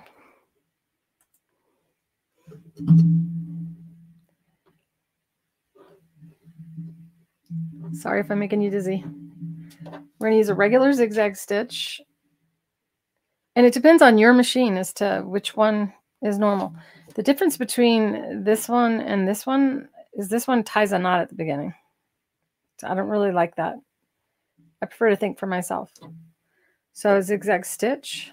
And then because my fabric's relatively thick, I'm going to go, I don't want to go too thick though. And the reason I don't is because these little paddle, that's a really kind of a small piece. So I think I'm going to max out at four on the width. I'm not going to go any wider than that, even though the foot would allow it. And the stitch length, I start at a 0.8 and I can move down as I sew until I get it to look the way I want it to. And know that you could have a piece ready, another little sample piece to practice on before you actually do it on your actual project. It's not a bad habit to get into to do that. Always practice using the exact same thread that you're going to use, fabric that you're going to use, and make sure everything is prepared the right way. And that way you're actually rehearsing what you're going to experience instead of thinking that it's going to be the way that you want it to be. So I need to switch now to, I have three different colors of thread. And the thread that I recommend for this would be the Polyfast 100% polyester 40 weight thread that you'll find at creativefeet.com. And you'll also find links for it in the description below the video. If you have embroidery thread already, you can go ahead and use what you have. But I wouldn't recommend you use our 80 weight or 100 weight thread for this because you won't see the stitch very much. And I can't give you an exact stitch length because the, the fabric and the thread and the setting of the pressure, they're all variants that that that affect the number or the stitch length. All right, so I need to put the darker color on first of the two yellow-ish colors. And you could just use one color thread if you like. It really is up to you. Whenever changing the thread on your machine, make sure you raise the presser foot. If you don't, your tension discs don't open. And if you go and change your color thread, you'll end up with bird's nest or looping on the bottom of your fabric. The proper needle to use for this would be dependent on the fabric you're applying onto. Now, this is upholstery fabric, but it isn't pasted so on the back side of the material, this is how you determine what kind of needle to use for upholstery. So you can see I didn't iron all the way to the end and the hold light's starting to peel off. But this is a woven. You can see you can see the weave. And if you scrape it with your fingernail, no paste falls off. If the upholstery fabric has a paste, then you need to use an upholstery needle or leather needle. Woven fabric will outlast the other because it is uh, woven and allowing you to actually use a needle that doesn't damage the fibers. So if you use a sharp needle, it cuts right through the fibers. A sharp needle would be including a sharp needle, a denim needle, a microtex needle, and the upholstery or leather needle. They all cut fibers. And that's why you'll see usually a felled seam or a double seam on items made using those types of fabrics because they use a needle that really destroys the fabric. And sometimes we actually put a glue or a rubber and seal the stitches. If in the case of sewing for marine or like boats, so that the water doesn't get in where the needle went all these little things you may not be aware of in manufacturing. So I'm using a 9014 universal needle. And that's fine for this fabric. It's relatively thick. And the thread that I'm using is 40 weight. I'm going to make this cool illustration so that you guys see how needles work and so that you it'll stick in your head a little bit better. But along the front face of the needle is a long groove going down the front of it. And your thread has to be able to hide in there. If it can't hide in there when the thread or when the needle goes through the material, then it's being the fabric is rubbing against the thread and it pushes the thread up against the back of the needle where the hook comes and forms the stitch and it causes shredding of the thread above the eye of the needle. So when I talk about needles and tell you which one to use, I'm I'm doing so for your best interest. I dropped my glasses. I'm going to retrieve them and then begin sewing.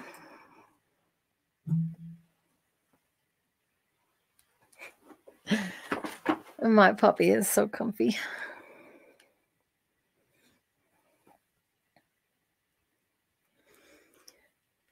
Kind of a pretty shot, isn't it? I feel like taking pictures. Clear your area. I have a whole bunch of stuff in front of my machine. So I'm moving it away so that I don't get distracted by it and it doesn't fall on the floor. Those scissors almost got put away. And they're the scissors I'm going to be using for this, so I have to pick them up.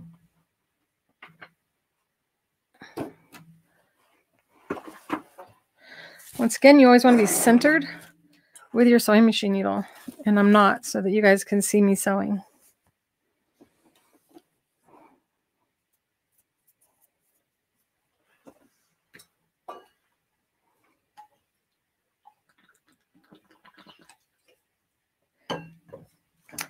Took a little sip of water. As I go around this, I'm going to have to sew up here, come back down, and then hop. So is it easier for me to start this way? Or is it easier for me to start over here? And that's the decision that you make before you begin. And for my brain, I like to use this side of the guide, but know that both sides of the guide are identical. So you can use both. In the setting for this, we've chosen the width. And you turn the hand wheel until the needle comes down in the right swing of the zigzag stitch. I think I should show you with this.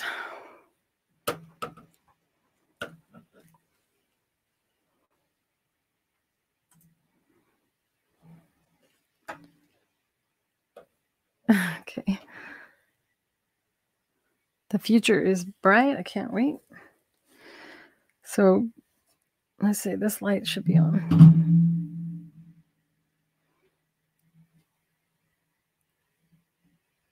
Are you guys having a good time? Anyone have any questions? I'm going to peek at your chat and see if any of you do have any questions. There, now you can see better. So turning the hand wheel, you want to make sure that the needle is touching the right side or, or that the wire is touching the left side of the needle.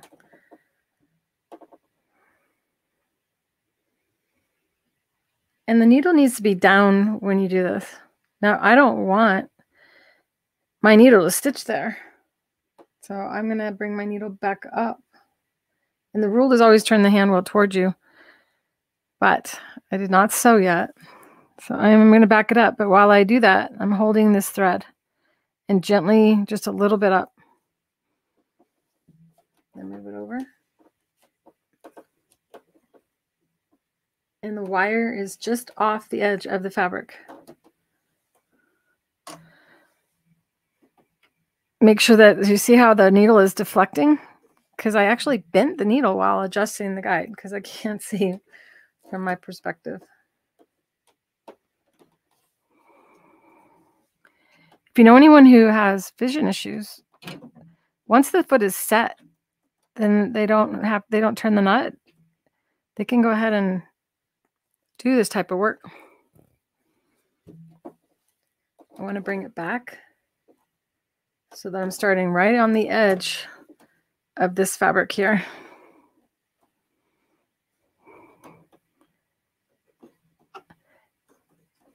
And if you don't have a knot stitch, leave your thread long and then you can put it through a hand needle and bring it to the bottom. Since I do have a knot stitch, I'm actually going to bring my bobbin thread up as well so that it doesn't, I don't have a tail back there. You bring the thread up, then you just go like this and slide the thread underneath and it picks up your bobbin thread. For my bobbin thread is really short. Come on.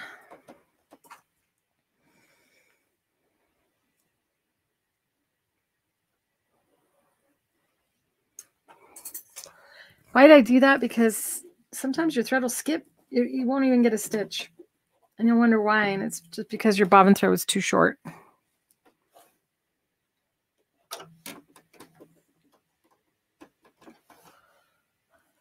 So what do you think? Is this an improvement, you guys? Still deflecting just slightly. So I'm going to move it back a little bit. And pull it back. If you don't have a knot stitch, you can sew a couple stitches. I have boots on. I don't sew. I don't like sewing with boots on. I feel like it's someone else's machine when I do. So you sew a couple, few stitches, and then lift up and bring it back again. And what I'm trying to determine now is what is the stitch length? And I'm doing so with my hands off of the fabric. If I hold it, I'm going to cradle it. Just gently put my hands beneath it, but not ever like this. When you're setting the stitch length, you want to know what the machine is doing. You don't want to help it because then you're affecting the stitch length. And that'll end up, you'll end up with pile ups and spread outs. If you've ever had that happen, hit a thumbs up. Now you know why. It's because you set the stitch length with your hands on the fabric to begin with. And I don't know if this will sew with the foot here. I'm going to give it a go. Let's see. Although I am completely blocked by the cell phone, which means I am using the cell phone to look through. And my brain is upset about it, but I think I can get through it. So I was touching. I just shortened it to 0.5, but it's very, very light touch, by the way. I'm not pushing. Let it do it. Okay, that's so six. I didn't clean my table good enough.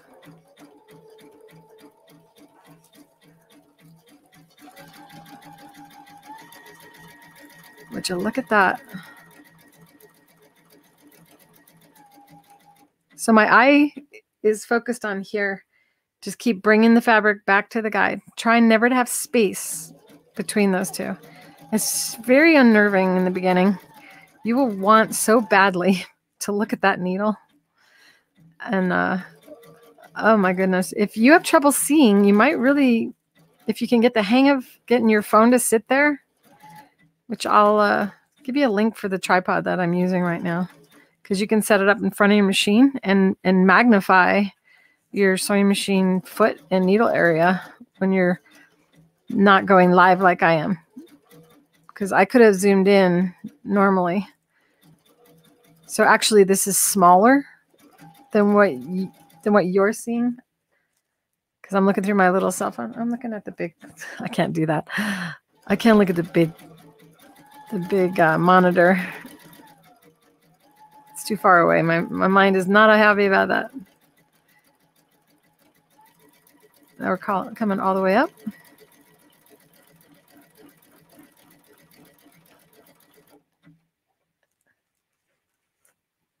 And now I'm lifting the foot, planting my finger so that the fabric can't move away from me. And I'm going to push off the wire and see how the foot released the actual fabric.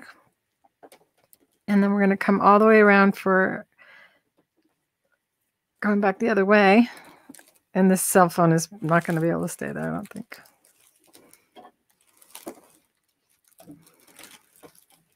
Because it's a lot of fabric and I'm spinning around. And this tripod has to have somewhere to sit.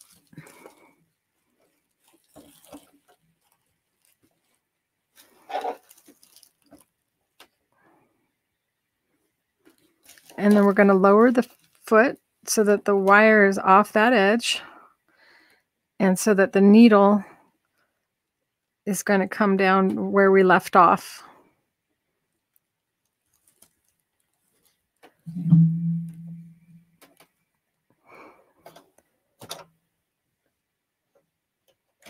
This camera position's not very good, is it?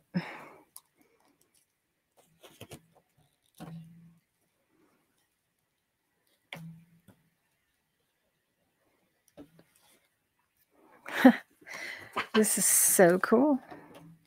I'm a little nauseous though because I'm looking somewhere other than where I'm really at. Not bad because I can barely see it.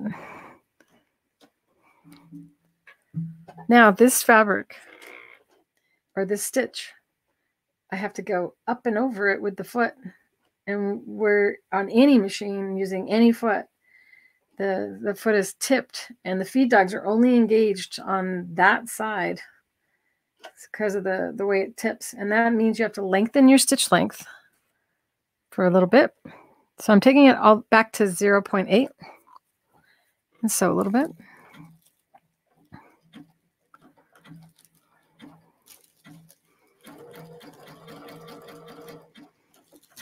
And i'm kind of having to lift it because it's stuck on the tripod. Oh go shorten it back down now. Once it starts to feed, I'm going to seven because I was tempted to push it, which means I'm not ready yet to let the machine take over. Now we go back to six, 0 0.6 to be accurate. And uh, I know you guys are probably watching the needle, but this is where my eye was focused, making sure there's no space there.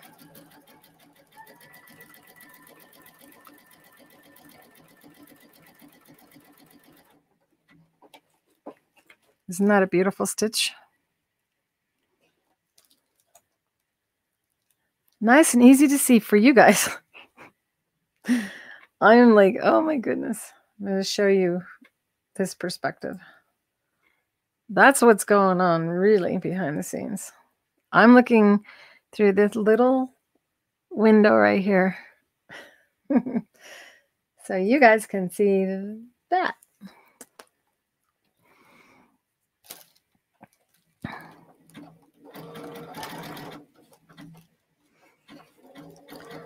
So this is in essence what we're going to keep doing. Repeat.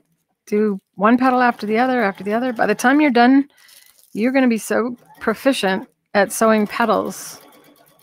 Then you'll be brave and ready to try another. And this is where I would sew. I switched to my left needle position straight stitch. And I'm sewing a couple stitches. I'm actually going to reverse. But I don't want to go into that pedal too much. Ah, this, this machine. Something wrong with this machine's reverse. I wanted to keep it on this pedal where I'm going to be stitching. So now I have a knot. And just as I teach you on quilting and embroidery, don't cut your bobbin thread. Only cut your needle thread. Because we brought our bobbin thread up already, so we don't need to bring it up again. And I'm going to go over to this petal and flip it around. Always going in that same direction. Starting on the right hand side of the petal, coming up, and then flip over and go back down. It's kind of like rinse and repeat. Feel free to ask questions right now. I will look up and look at the chat. Oh, I was trying to bring the bobbin thread up. habits. Did I actually pull it up a little? No. I'm hopping over now to this one. Welcome to Fabricly Speaking Live, where I go live. Aren't I brave? No editing. Got to change my stitch back to the zigzag stitch, four millimeter wide, 0.8 to start.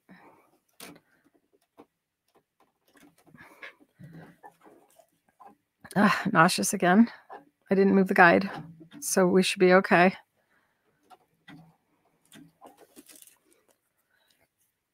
Keeping your eye right there, not there. No matter how tempting. That's that is where the needle is is now is is the past. It's already happened. This is the future up here. This is the future. That's now. So you always want to look where you're at, not where you're going. I mean, look where you're going, not where you're at. I shorten the stitch length to six.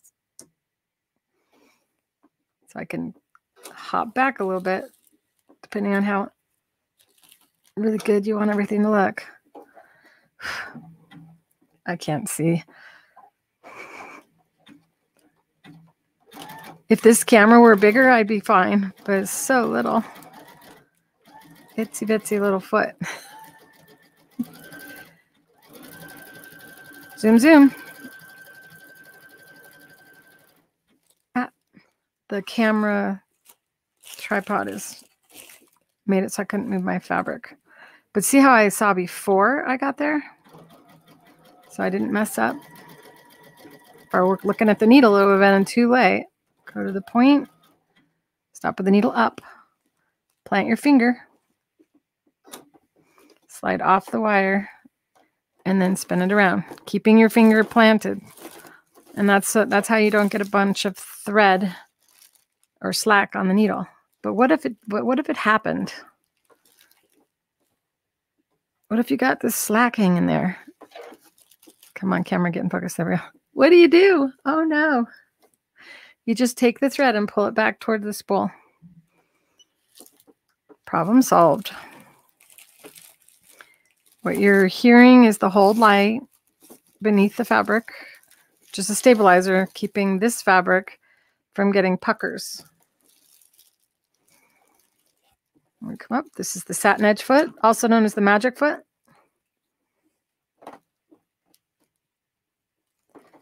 And it has a guide that I positioned for this stitch width and it adjusts to different widths. And it fits all machines. All you need is a zigzag stitch if you're coming in late. Hi, Sheila Dusty. So that is, I answered before I saw you.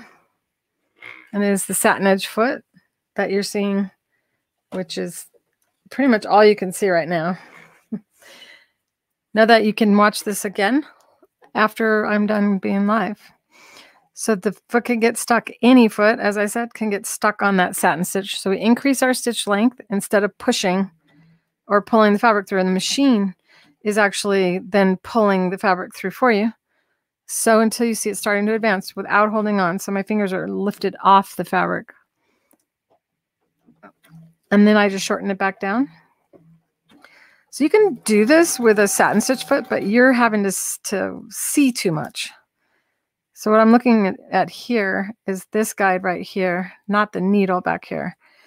So if you've ever done applique before, you know that your eyes are usually focused on that needle swinging. And you can't focus on something that moves that fast in case you didn't notice. Your eyes get blurry and you miss because your eyes are distracted. You're looking where you are instead of where you're headed. So I just keep bringing the fabric back to the guide. This is my Satinedge foot, and I designed it for a woman who was born blind and deaf so she could do things a serger could do. This machine has a knot stitch. I'm going to use it.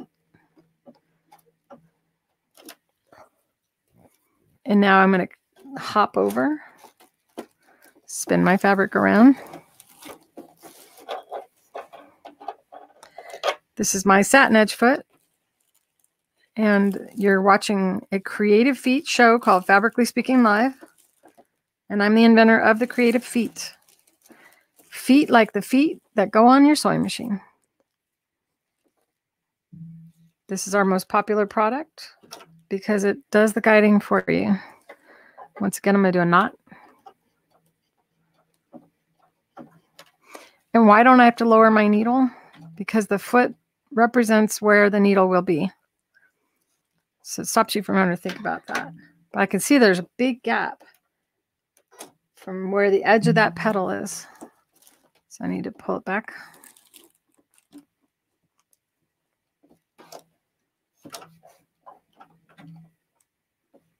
Go a little bit back. I don't want any gaps. And use a different color thread on those little petals though. So we can cheat a little, but not a lot. Ignore the sewing machine needle. Watch the front of the foot. Increase your stitch length always at the beginning because it's writing over what's over here too. And I hadn't, so it struggled there for a few stitches. 0.8 is what I was starting at. And that really is determined by your fabric. This is a velvet upholstery fabric.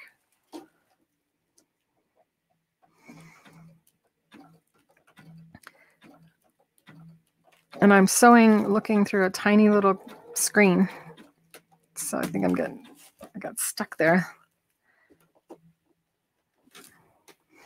Well, you get to see me mess up every every week. And that's probably, I think that was the bobbin thread, by the way, you guys. That carryover stitch, which is a bummer. Six. 0 0.6 is the length for the majority of this. Ignore everything else. Watch the front of the foot.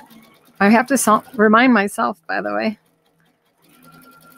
I don't know if this is too much for this camera being that close. Or if it's just that it's wireless. And it's starting to struggle.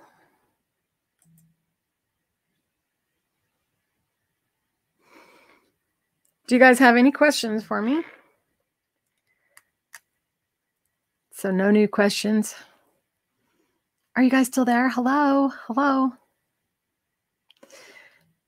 I'm trying to give this cell phone a break, see if it'll pick back up again, because that's really the best way for you guys to see this. However, I think I've done enough that close, and I can do this quicker if I'm not staring through that little screen. You should be centered with your sewing machine foot and elbows down on your on your table and or resting your arm on, on your machine. If you want to cradle the fabric, you can cradle it, but you don't want to have your hands down on top. This is my go-to position for applique. And now it's big instead of a itty, itty bitty little foot. Come up to the point. Stop with the needle up. Lift. Pull off the wire. Turn. Now you can see it's much quicker. Increase stitch length. Anytime you feel the need to push, just think I'm not in labor. I'm not supposed to push when I sew. Increase stitch length instead, then decrease it once it starts to feed. And this is how you get a consistent stitch length on applique because I am not pushing or pulling the fabric through. I'm just making sure that the fabric doesn't get stuck on anything. What's your comment, Better Days? So until we reach the smaller petal again, and then tie a knot, because the needle thread needs a knot. Lift, push off the pin, turn, lower the foot. Make sure the wire is off the edge. Oh, I've got the wrong camera. Hi, everyone. I'll switch to this one. What's your comment?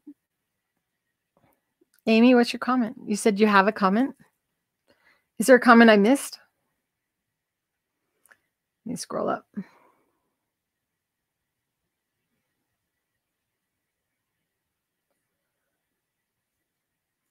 I don't see it.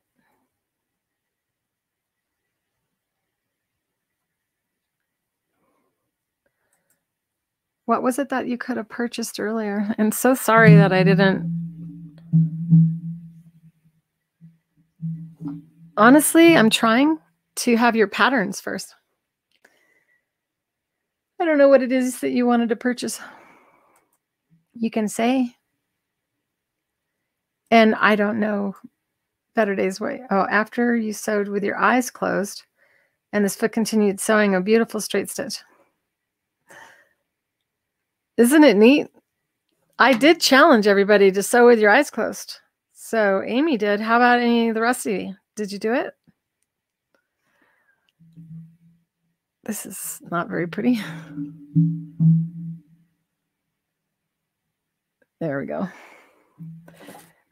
Okay, so I'm using my knot stitch, which is a button on my machine. And it sews a few stitches in place. You can achieve that by just using a shorter stitch length on a straight stitch and then switching back to zigzag. But that requires changing your machine settings. It did not go close enough to the pedal. I need to put my glasses on. This is what will bug you is if you if you end up with a gap between the petals. It'll be a hard fix later. Better to go a little bit up on that little one because there's it's going to be a stitch over that than to have it be a space between these two petals. Once again, increase stitch length on the on the inside and outside corners because the foot is resting on the stitch that you sewed over here. You just can't see it. It's back there. So it's having a little bit of trouble. And so increasing the stitch length gives it help without you being the one increasing the stitch length because we are not a sewing machine. We are not feed dogs. We need to let the feed dogs do their thing. Your job is to make sure that the fabric is not hindered, that you're cradling it and supporting, being there in case your scissors get stuck on it or anything else. A cat comes up, your dog wants to lay on it. I don't know. I don't know what your sewing experiences are. Do any of you sew with a cat on your table? I've seen a lot of pictures of cats on the table. Reach the corner, plant my finger, raise the foot, push gently off the wire. Now I'm free to turn. Keep my finger planted and I spin it around. Lower the foot. The wire is off the edge, so is the sewing machine needle. Got a little bit of slack there. So I just pull it back towards the spool above the tension and then increase stitch length. So a few stitches till it starts to feed without my help, shortening it down, down to seven, and now it's feeding, and now I go to six. So it's a gradual drop down. Keeping my eye here, making sure there's no space, but also making sure I also don't ride up on it. It's actually hard to get up over the edge. This foot is super sensitive, even though it has no senses. People actually usually use descriptions like that. They say, "How does it know?" Well, it doesn't know anything. It has no. It has no brain. How does it sense the edge? It doesn't sense anything. It has no senses. It's just a foot I designed for someone who was born blind. Sorry for getting my arm in the way. Lift, plant my finger, spin around, hop over. What time is it? I'm going to finish this, you guys. Zoom, zoom. Mm-hmm. I don't want to let anyone down and not have their shipment get out. Unless the driver picks it up. But I have a feeling they're not shorten increasing my stitch length. Sorry. So a few stitches, then shorten it down. Keeping your eye on the spot right there. Cradling the fabric, not pushing down on it. So if you've ever watched someone applique and their hands were like this, what they're doing is they're affecting the feed dog consistency and straining their hands as well as distorting the fabric. So we want to let the sewing machine do its job. It's it's it's got it's got really good feed dogs. Let the machine do the work. You can go out and work out later. Let the machine work out now. Your cat likes to sit with you, Susie or Susan. Reach the point. Stop with the needle. Always up. Thumbs up, everybody. I'm going to love this pillow.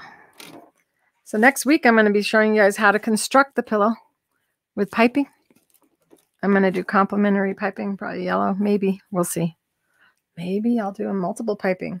Maybe three rows of piping. Wouldn't that be something?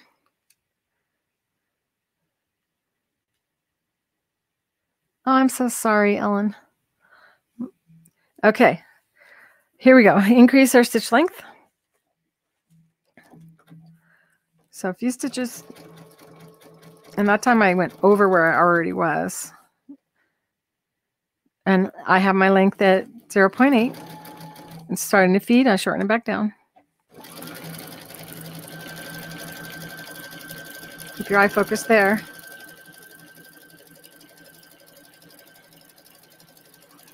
Now it's likely to fall off right here.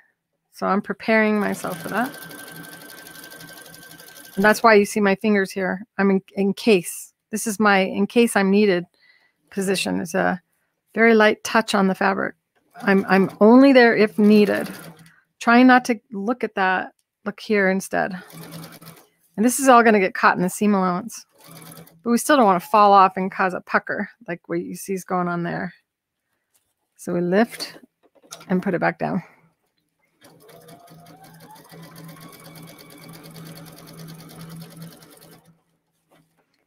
lift.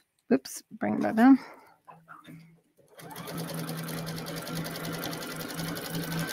Yay. That's the majority of the work. So knot stitch, which is a few stitches in place.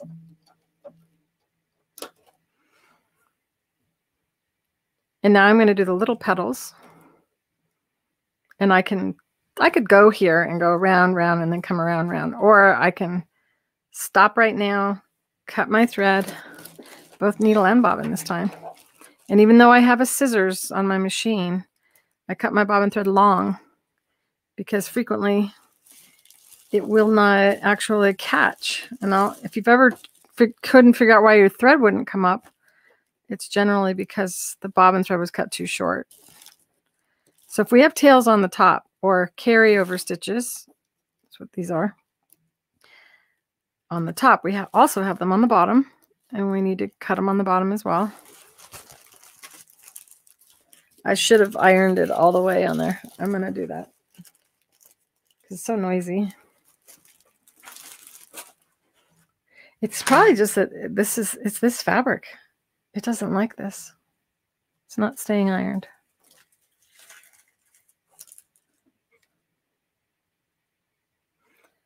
What am I doing? this one. So the stabilizer did not stay ironed to the upholstery fabric. And I've never done it before. It, it has never come apart normally when appliquing. I'm just going to take it off. It'll be quieter. And this fabric is so thick, it really didn't need any help anyway. So we'll see if I regret doing this. I, I'm tired of the noise. This microphone's too good. There we go. So now you can see how clean it tears away. And we got to get rid of these carryover stitches. So when I had trouble on this one, that carryover stitch got stuck on maybe the feed dogs. And that's what caused it to not feed in that one corner. And for those of you who are watching and coming in now, know that you can rewatch. This will be live on YouTube immediately following and on our Facebook page, wherever you're watching it from now.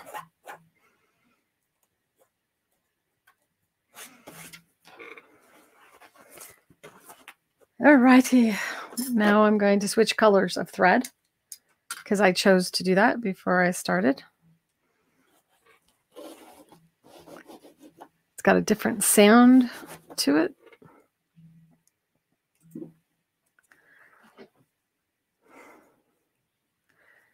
Okay, Hugs, Ellen. How many of you have made a pillow before? Give me a thumbs up. And if you did, did you make it so you could wash the pillow cover? If you did, did you put a zipper in or did you do a pocket pillow? And if you did a pocket pillow, did you use Velcro or no? That's a lot to write. Start writing. Time for homework. Share. I'm switching to my lighter color of thread.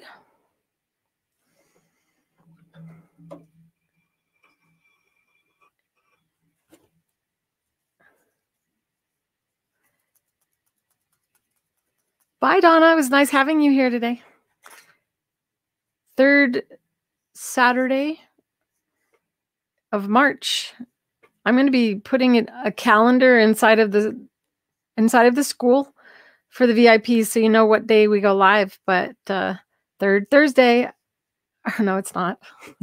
third Saturday is coming up soon. So you guys need to come get your questions and, you know, challenge me.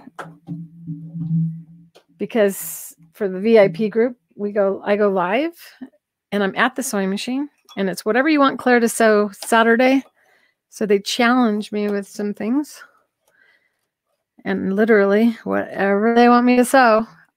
Obviously, I can't sew a king size quilt in an hour. But if you've ever been challenged with anything, that's what those live sessions are all about. So you've made large floor pillows. And you put zippers. That would be wise for that for sure. So these are things you need to think about if you're a new sewer. When you make a pillow, are you going to throw the whole pillow in the washing machine if it gets dirty? And if you've ever done that, you know that pillows get lumpy and it's really hard to smooth them back out again. You might be intimidated by a zipper. I could do an invisible zipper next week. Tell me what you want. I do pocket pillows frequently. It takes more fabric to do that, but you don't have to unzip a zipper. When you want to wash it, you just pull your pillow out and it's a lot better than the ones that you, if you buy ready-made pillow shams for your bed, for instance, and it gets all sloppy. I have a, a really nice way of doing it. Can even close it with a button. Very pretty. I could do that too. What do you guys want? You're forming next week's show. So now I'm going to sew my next color and change cameras for you. Using my knot stitch.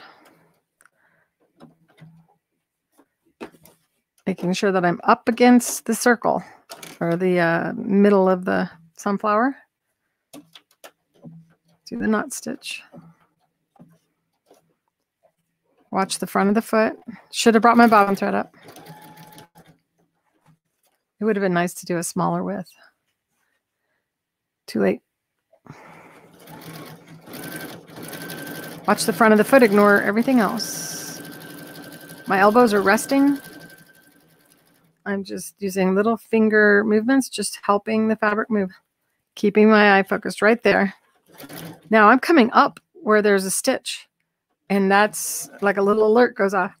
I may need to increase my stitch length when it goes over those. It's not seeming to hesitate. Looks good. Reach the point. Stop with the needle up. Lift, push off the wire. Plant your finger and turn. And now's my chance to grab that bobbin thread that I didn't pull up and cut it short. These are the little applique scissors that we offer at creativefeet.com. On the points, we do what? increase our stitch length just a little bit. So it was normal at 0 0.6, go to 0 0.8 so it can get over that thickness of thread and the thickness of this petal because that is right underneath there. So the foot's got is is in essence having to climb over the mountain. So we increase the stitch length to 0 0.8 until it gets over those areas. And that's just a real slight change in, in length. And now I'm shortening it back down so that it doesn't spread out after it goes down the mountain. Keep your eye focused on the front of the foot. I wasn't. I messed up. Darn it. It's going to be in my living room. Bummer. But you guys have to see me make some mistakes so that you don't make them. Now tie knot.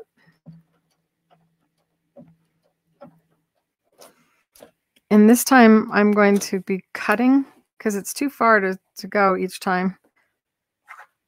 It'll have really big tails underneath. And each time it's a risk of you getting stuck on something. So I'm cutting my bobbin thread. And I don't use the scissors because it cuts it too short. Yes, it's a good time to change your bedding coming up on spring.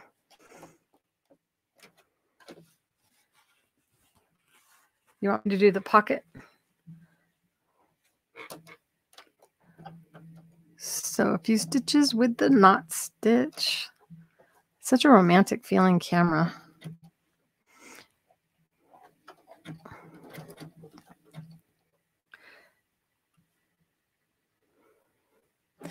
But for those of you who came up and didn't get to see close up, I'm going to do a little bit like I did before. If the camera can handle it. No, it seems to be struggling. Did fine before. That's kind of blurry, isn't it? It's not helpful if you can't see because the camera is overwhelmed. And it's not catching up with us. So you'll have to watch it on the rewind because the camera was doing really good earlier at a, at a really close angle. I'm not trying to keep it far from you. Watch the front of the foot, watch the guide, not the needle. Just keep bringing it around. Don't push down on the fabric. Elbows are resting so that you don't get sore between your shoulder blades. Keeping your eye ahead of where you're going, not where you're at. Stop with the needle up. Lift, pull off the wire. This is why you cannot lower your needle because there's a wire that we have to pull the fabric and disconnect the foot from the fabric. I have another foot here. I can show you what I'm talking about. Those of you who walked up after. Sorry, it's so noisy. This is the foot. And there's this little wire inside the opening. And that wire is sitting off the edge of the applique. And it is making it so I don't have to watch. So as I come around this this one here, this circle, it's going to be so easy. Zoom all the way down. And all I have to do is keep looking right here, making sure the fabric touches. And the wire is off the edge. And it they're in line with one another. So that's what makes this so much better than any other foot for applique. And you can use it for 27 different things, not just applique. Increasing our stitch length just a little bit. Ignore the sewing machine needle. Watch the front of the foot. My stitch length is at 0.8, and that has to do with my fabric and thread and foot pressure. Get over the bump. Once you're over the bump, then you shorten it back down. No pushing down.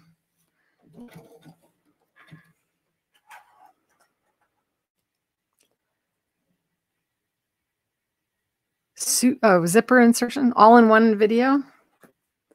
That's the Creative Feet extension. It's going to be like that. The Creative Feet extension is going to be in that kind of format, kind of like the Creative Feet Technical Guide and Workbook and video are. Whereas the show is going to be more project based, like I'm doing now. So if you want to have every way of putting a zipper in, in one area, and then you can sort through like a table of contents and have the uses for each type all done using the Creative Feet products. That's what the Creative Feet Extensive is, and it's going to open this summer. It hasn't opened yet because I'm going to be using this camera setup, and we've been trying to figure out exactly how to do this. If I don't have to edit my videos, and going live does eliminate editing, then I can create more content with less work and give you more for less money. Because the Creative Extensive is a pay for class. Hi, Tink. You want to come up here? Hey, baby. My dog is reminding me to look at the clock. Got a half hour, and then I have to go. I think I'll be done before that.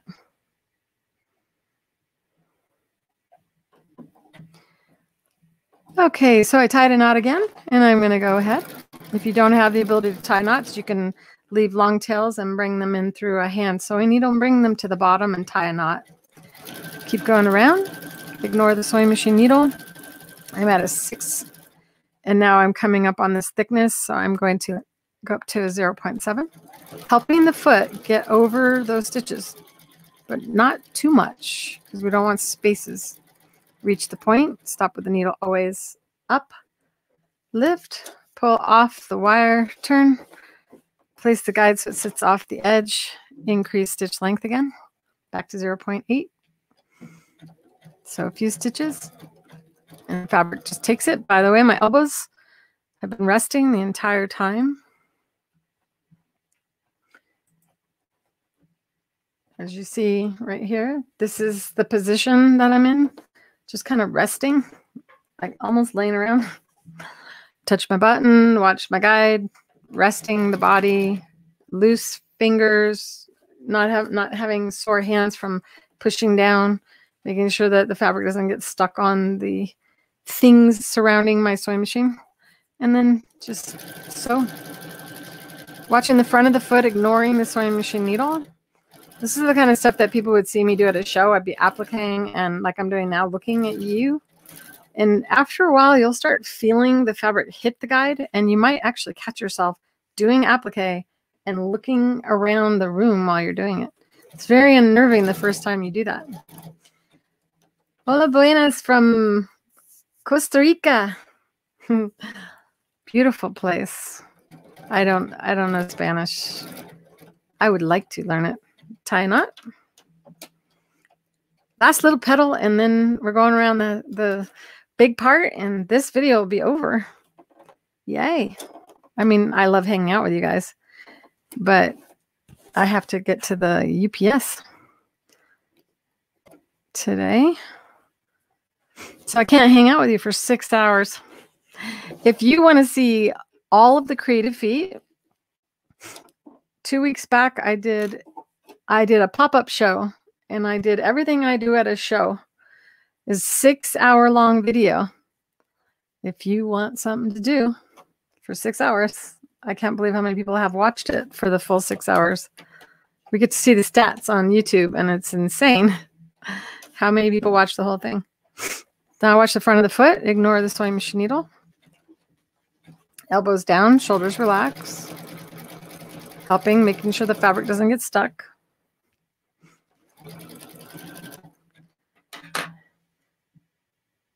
And go back to this one.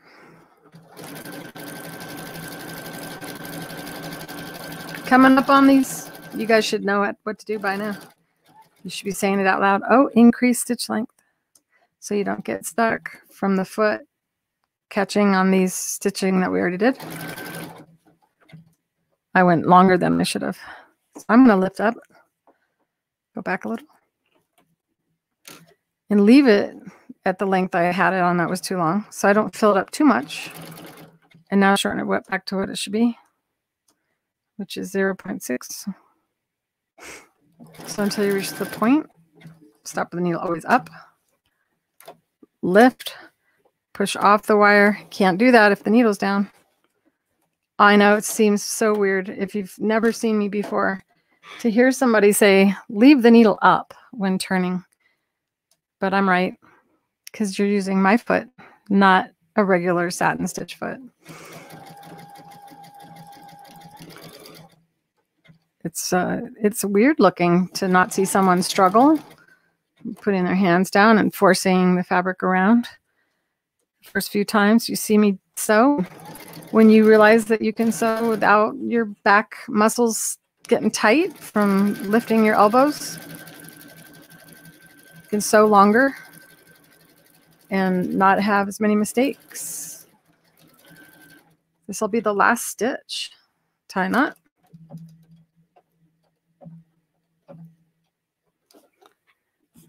Lift, pull off the wire.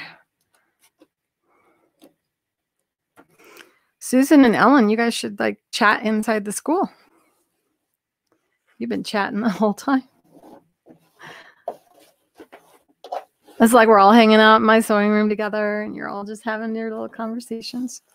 Now I'm going to change to what color? What do you think I should do? Should I do another yellow? Or should I pull one of the colors that you see in this fabric? What should I do? Come on, you guys. Tell me. Should I do like that color or green? I don't know. If I don't know, you guys got to help me. Hi, Tinkerbell. Hi, Chase. I'm going to get, I thought I had all my colors selected, but I forgot to do that one. Ooh, I found one that's good. And you may have noticed that I didn't change my color of bobbin thread this whole time.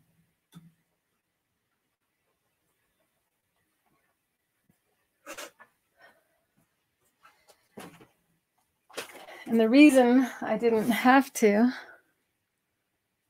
oh, I unplugged that camera. Keeps happening. I'm going to be quiet for a minute. It won't be a whole minute, but it will be a little bit.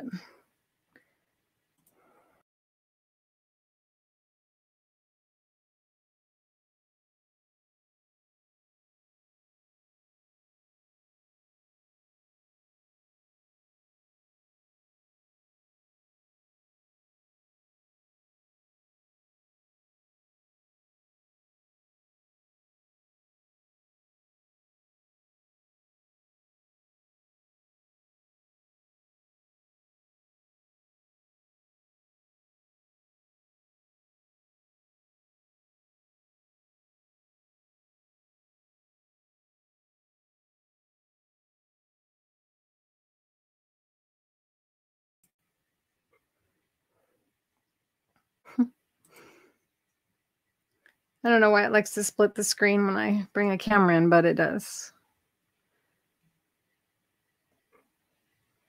And I got the wrong camera.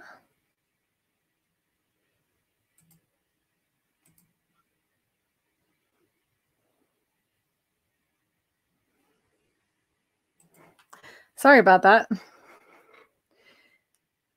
We have a touchy camera for the main one.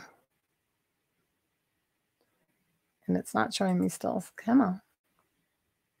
There we go. I thought I had that figured out, but the slightest movement around that camera and disconnects. So we got stuff arriving today, as I said. Tinkerbell, did you want to come say hi? Tink. She's distracted by something. So I chose these two colors, and then you guys tell me which one that you want me to do.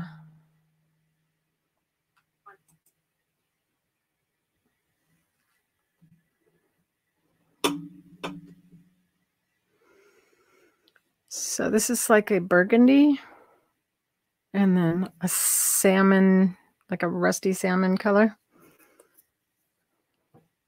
It's a good way to do it is to lay it down and make sure that you move it around so you can see which way the light would move.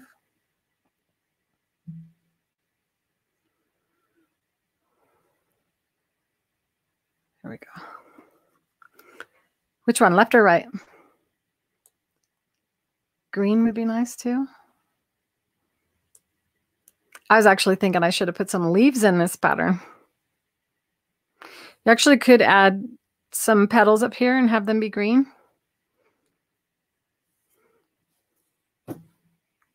Eeny, meeny, miny, mo.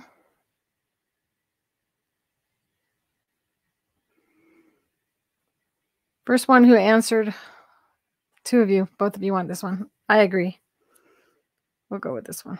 I like how it kind of offsets that color too, or complements it.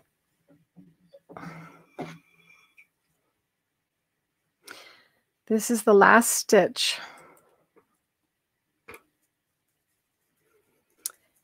Have you guys had a good time today?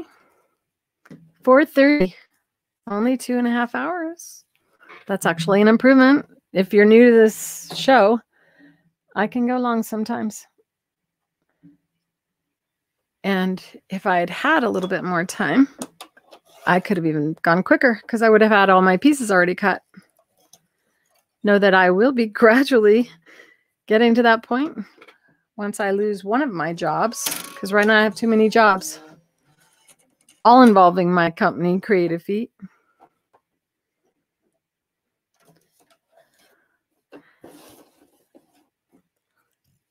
All right, you guys are getting to know each other really well.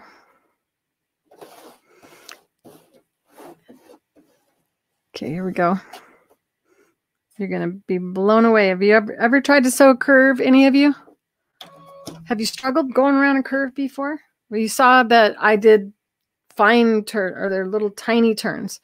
Now we have this big curve to go. And this is similar to the drunkard's path, except for I'm using a zigzag stitch. And you can even do this curve with an overlock stitch. You can set a sleeve with this foot and overcast at the same time as setting in a sleeve. It's pretty impressive. There's so many things. So anytime you've ever tried to sew a curve, what should I do? I could do a different stitch, but it's all about satin stitch. I'm going to see about going a little wider. And if you go wider, you need to move the wire on the foot. And the instructions tell you how to do that. I've already done it.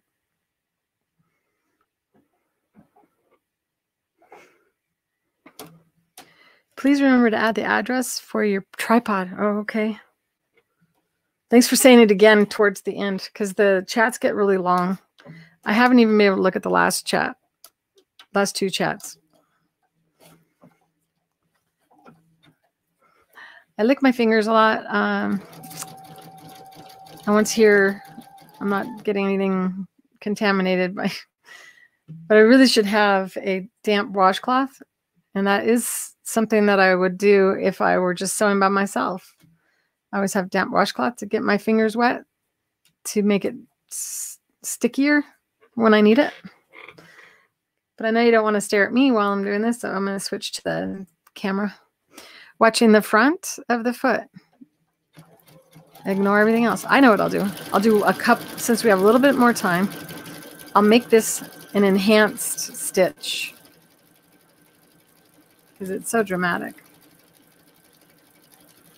And it's really not struggling to go over the satin stitches. So I'm not altering, and I'm at a 0.6 again. Ignore the sewing machine needle.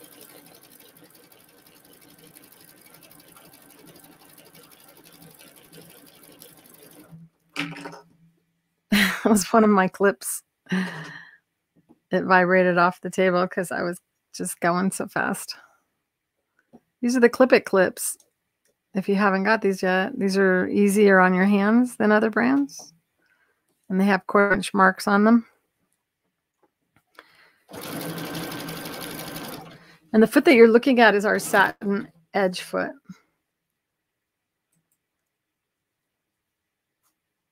And the Satinedge foot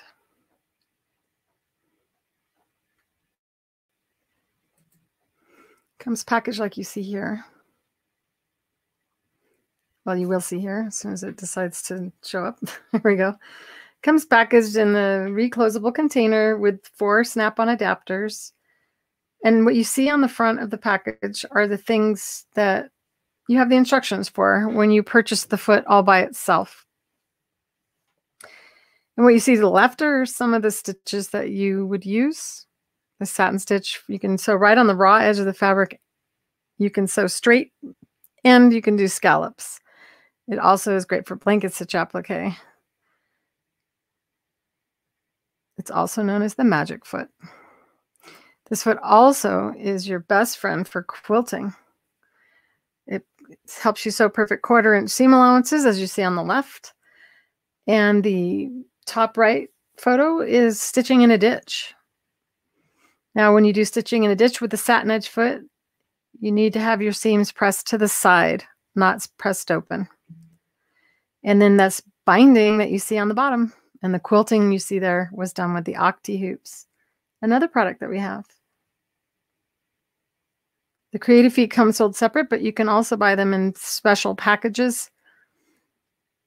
The basic special and the one in the middle gives you four little booklets, three feet, and the accessory guides, which are guides that increase the capabilities of the sequins and ribbon foot. The other two are our educational specials, which include a book and a video. And I thought I had the sequin foot picture in here, but I don't.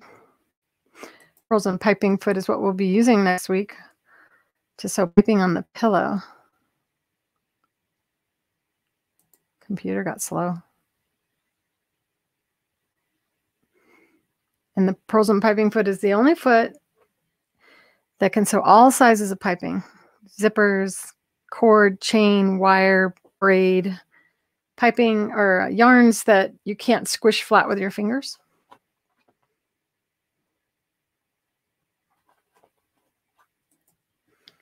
And I'll continue sewing around this. Ah, got her. It's kind of like fishing. I caught the puppy. There. There she is.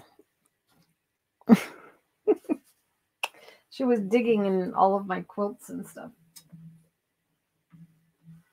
I have to adjust her area. Okay, here we go. And I can look at the comments again.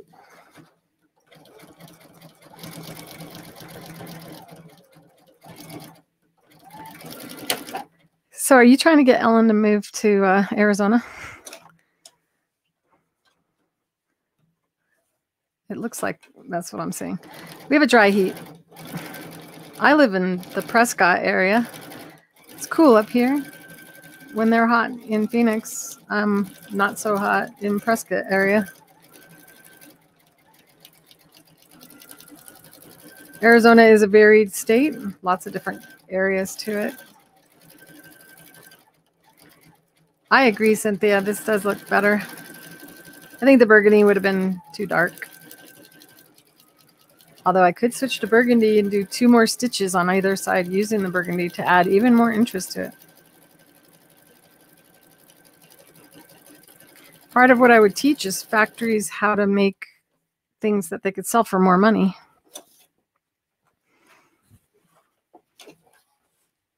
I think it's pretty. What do you guys think? Should I stop? Or should I do one more thing? So that you guys can see one more thing that you can do. I kind of showed this last week. I'm moving the guide and I'm changing my width to a one. And maybe I'll go to two. No one. And one is the width of this the wire. And what I'm trying to do here is center the wire in the stitch.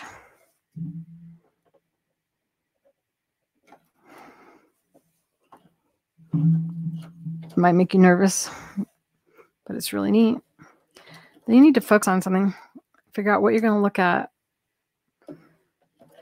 I'm increasing my stitch because I'm finding it not wanting to feed, but that's because it's sitting on the satin stitch.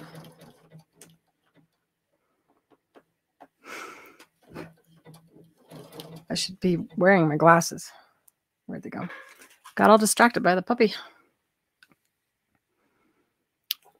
So I'm at a 9 now, 0 0.9. And the needle swinging over the the actual pin and the foot is sitting on the satin stitch. So my focus isn't on the needle.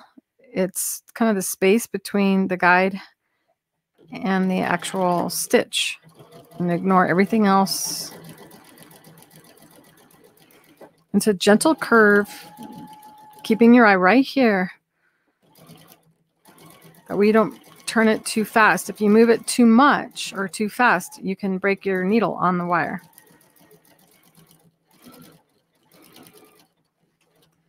Helping or supporting the fabric as it comes up, not pulling or pushing it through, especially not on this technique. And this is a technique that is based on ooh, sewing over knitting needles. That was great. Now you know what the emergency alarm system is for your sewing machine. I stopped looking at the needle for a second. I had it pushed too far. So I'm going to take and I'm going to pull this out and cut the thread long. And then I'll pull that through to the back. May as well do it with you. This is what I get for showing more.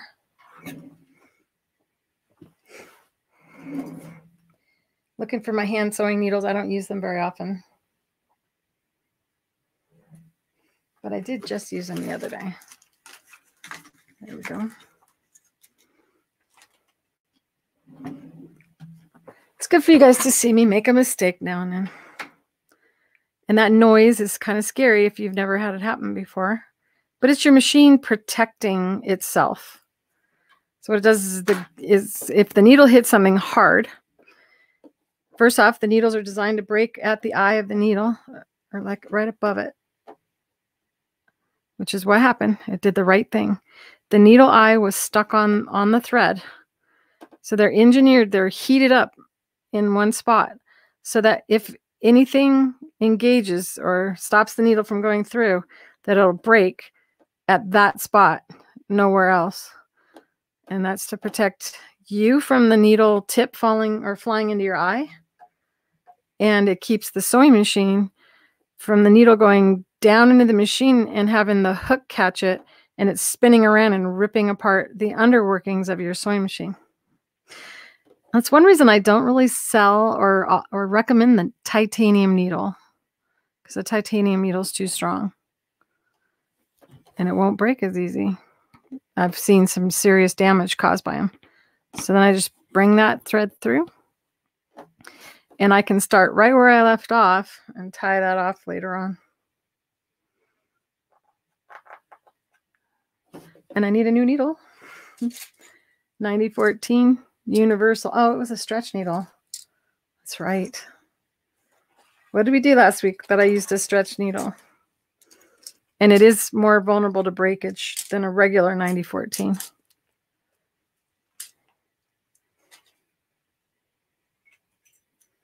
Somebody has a sewing machine that needs repair.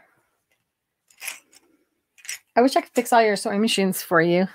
Just like blink. There we go.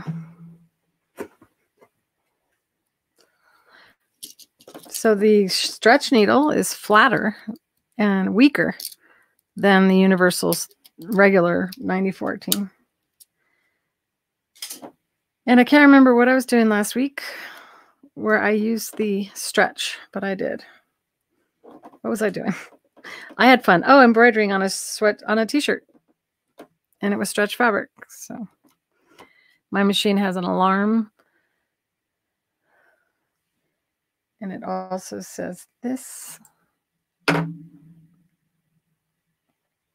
The safety device has been activated. Is the thread tangled? Is the needle bent? That's a little bit more reassuring. Does it seem like the camera's doing okay? Because I could stitch close if it's not having trouble like it was. Cool. Be a good ending. I'm actually resting the sewing machine or the uh, camera tripod against the sewing machine, which should make it shake too much. But it seems to be okay. So lower the foot and thread the needle. Come on, thread. Oh, it's because I have to hit that button letting it know I fixed the. Did you see all that lint on the top of my needle threader? oh my goodness, here we go. This is what the live is all about. Clare broke a needle. Second needle broken this season. Human error. I'm going to leave this tail long and I'm going to pull it through the back and tie the two ends together. And it'll never come out. Now you can see what's really going on here and why I was able to break it. That bobbin thread I'll be able to pull down too. You won't you won't see it. Okay. Stitch length. So the foot is actually riding over this right there. You can see through it. They were talking about on the news how many times people wash their hands a day. About nine times a day. Uh, I'm way more than that. So I got a little dry spot embarrassed about. Watch the front of the foot, ignore the needle. I'm looking through the cell phone camera again. Is so scary.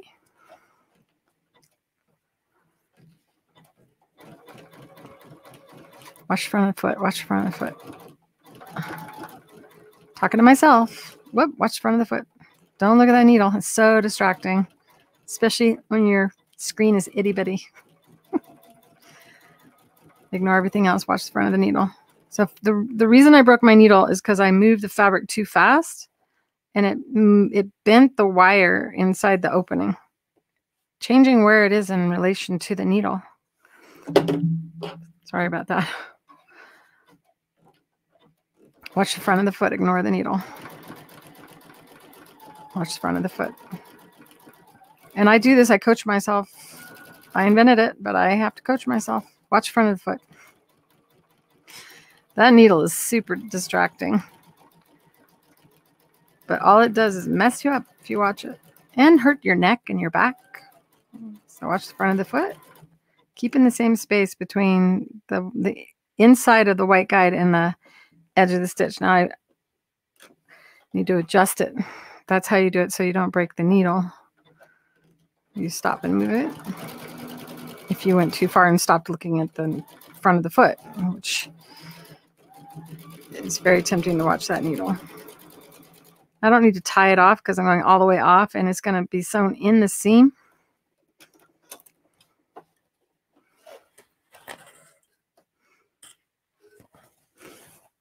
Sorry about that. taking it out before you could see it. Isn't that a nice little addition?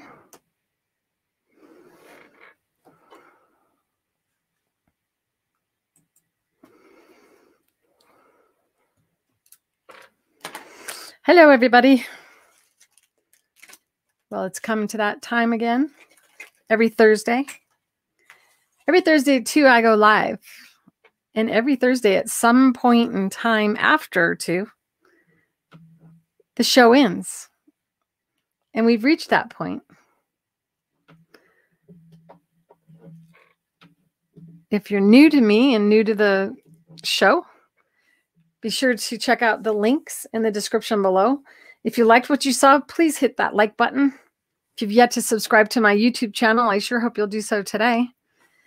And next week, I'm going to make this into a pillow. What do you think? The pattern's free and the pillow instructions will be added to the pattern hopefully before next week.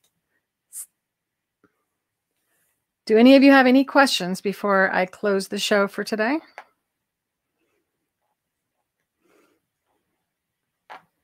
And there's been some heavy conversation in the in the chat today. I'll say a prayer for you, Ellen. And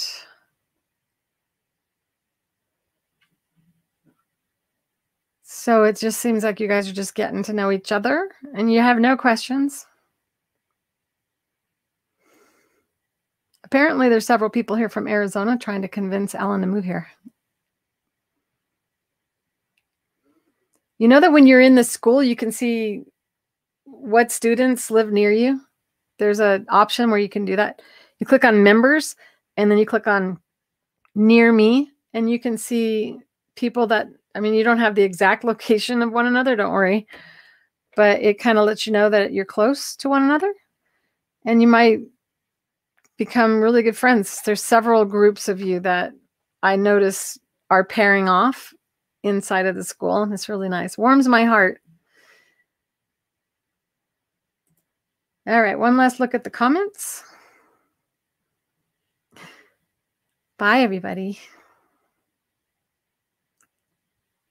I'm looking forward to a day off where I can just like not do anything.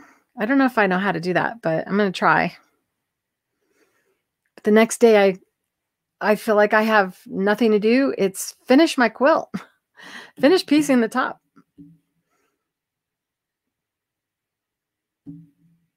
I'm so glad you guys enjoyed the class. I'll see you in the school.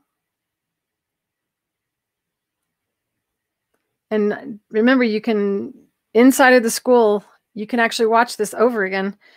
The videos are, are embedded into the school. So you don't, you're not taken to YouTube. You just get to watch right there. And you can comment there, continue your questions. If, if after you actually go to make one of these, that you have questions as you're going, you can comment on the actual episode. And this is season two, episode 10.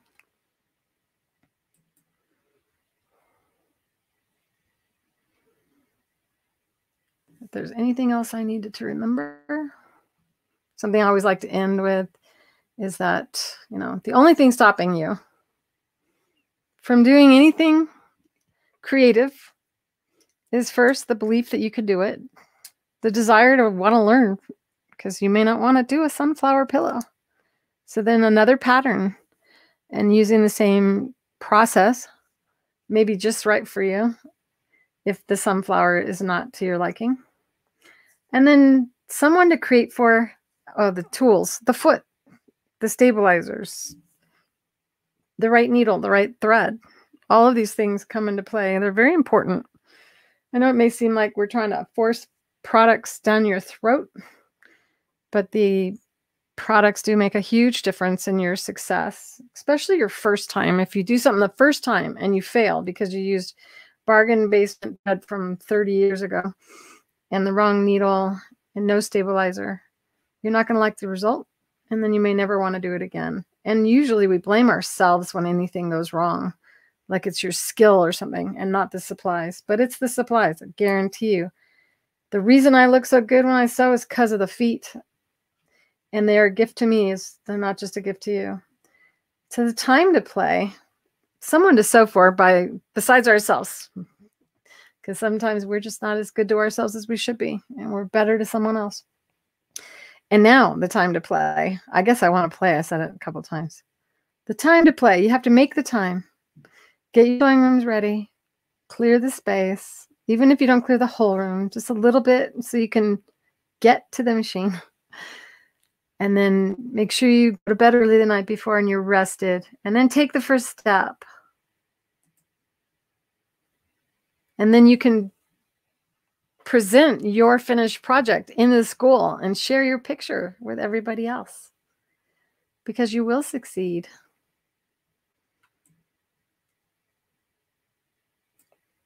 And with that, I love you guys. See you next week, next Thursday, 2 Mountain Standard Time. And you guys are going to spring forward soon, but I won't. So anytime you don't know what time it is in Arizona, just go, what time is it in Arizona into in your search, and then you'll know what time it is in Arizona. Bye.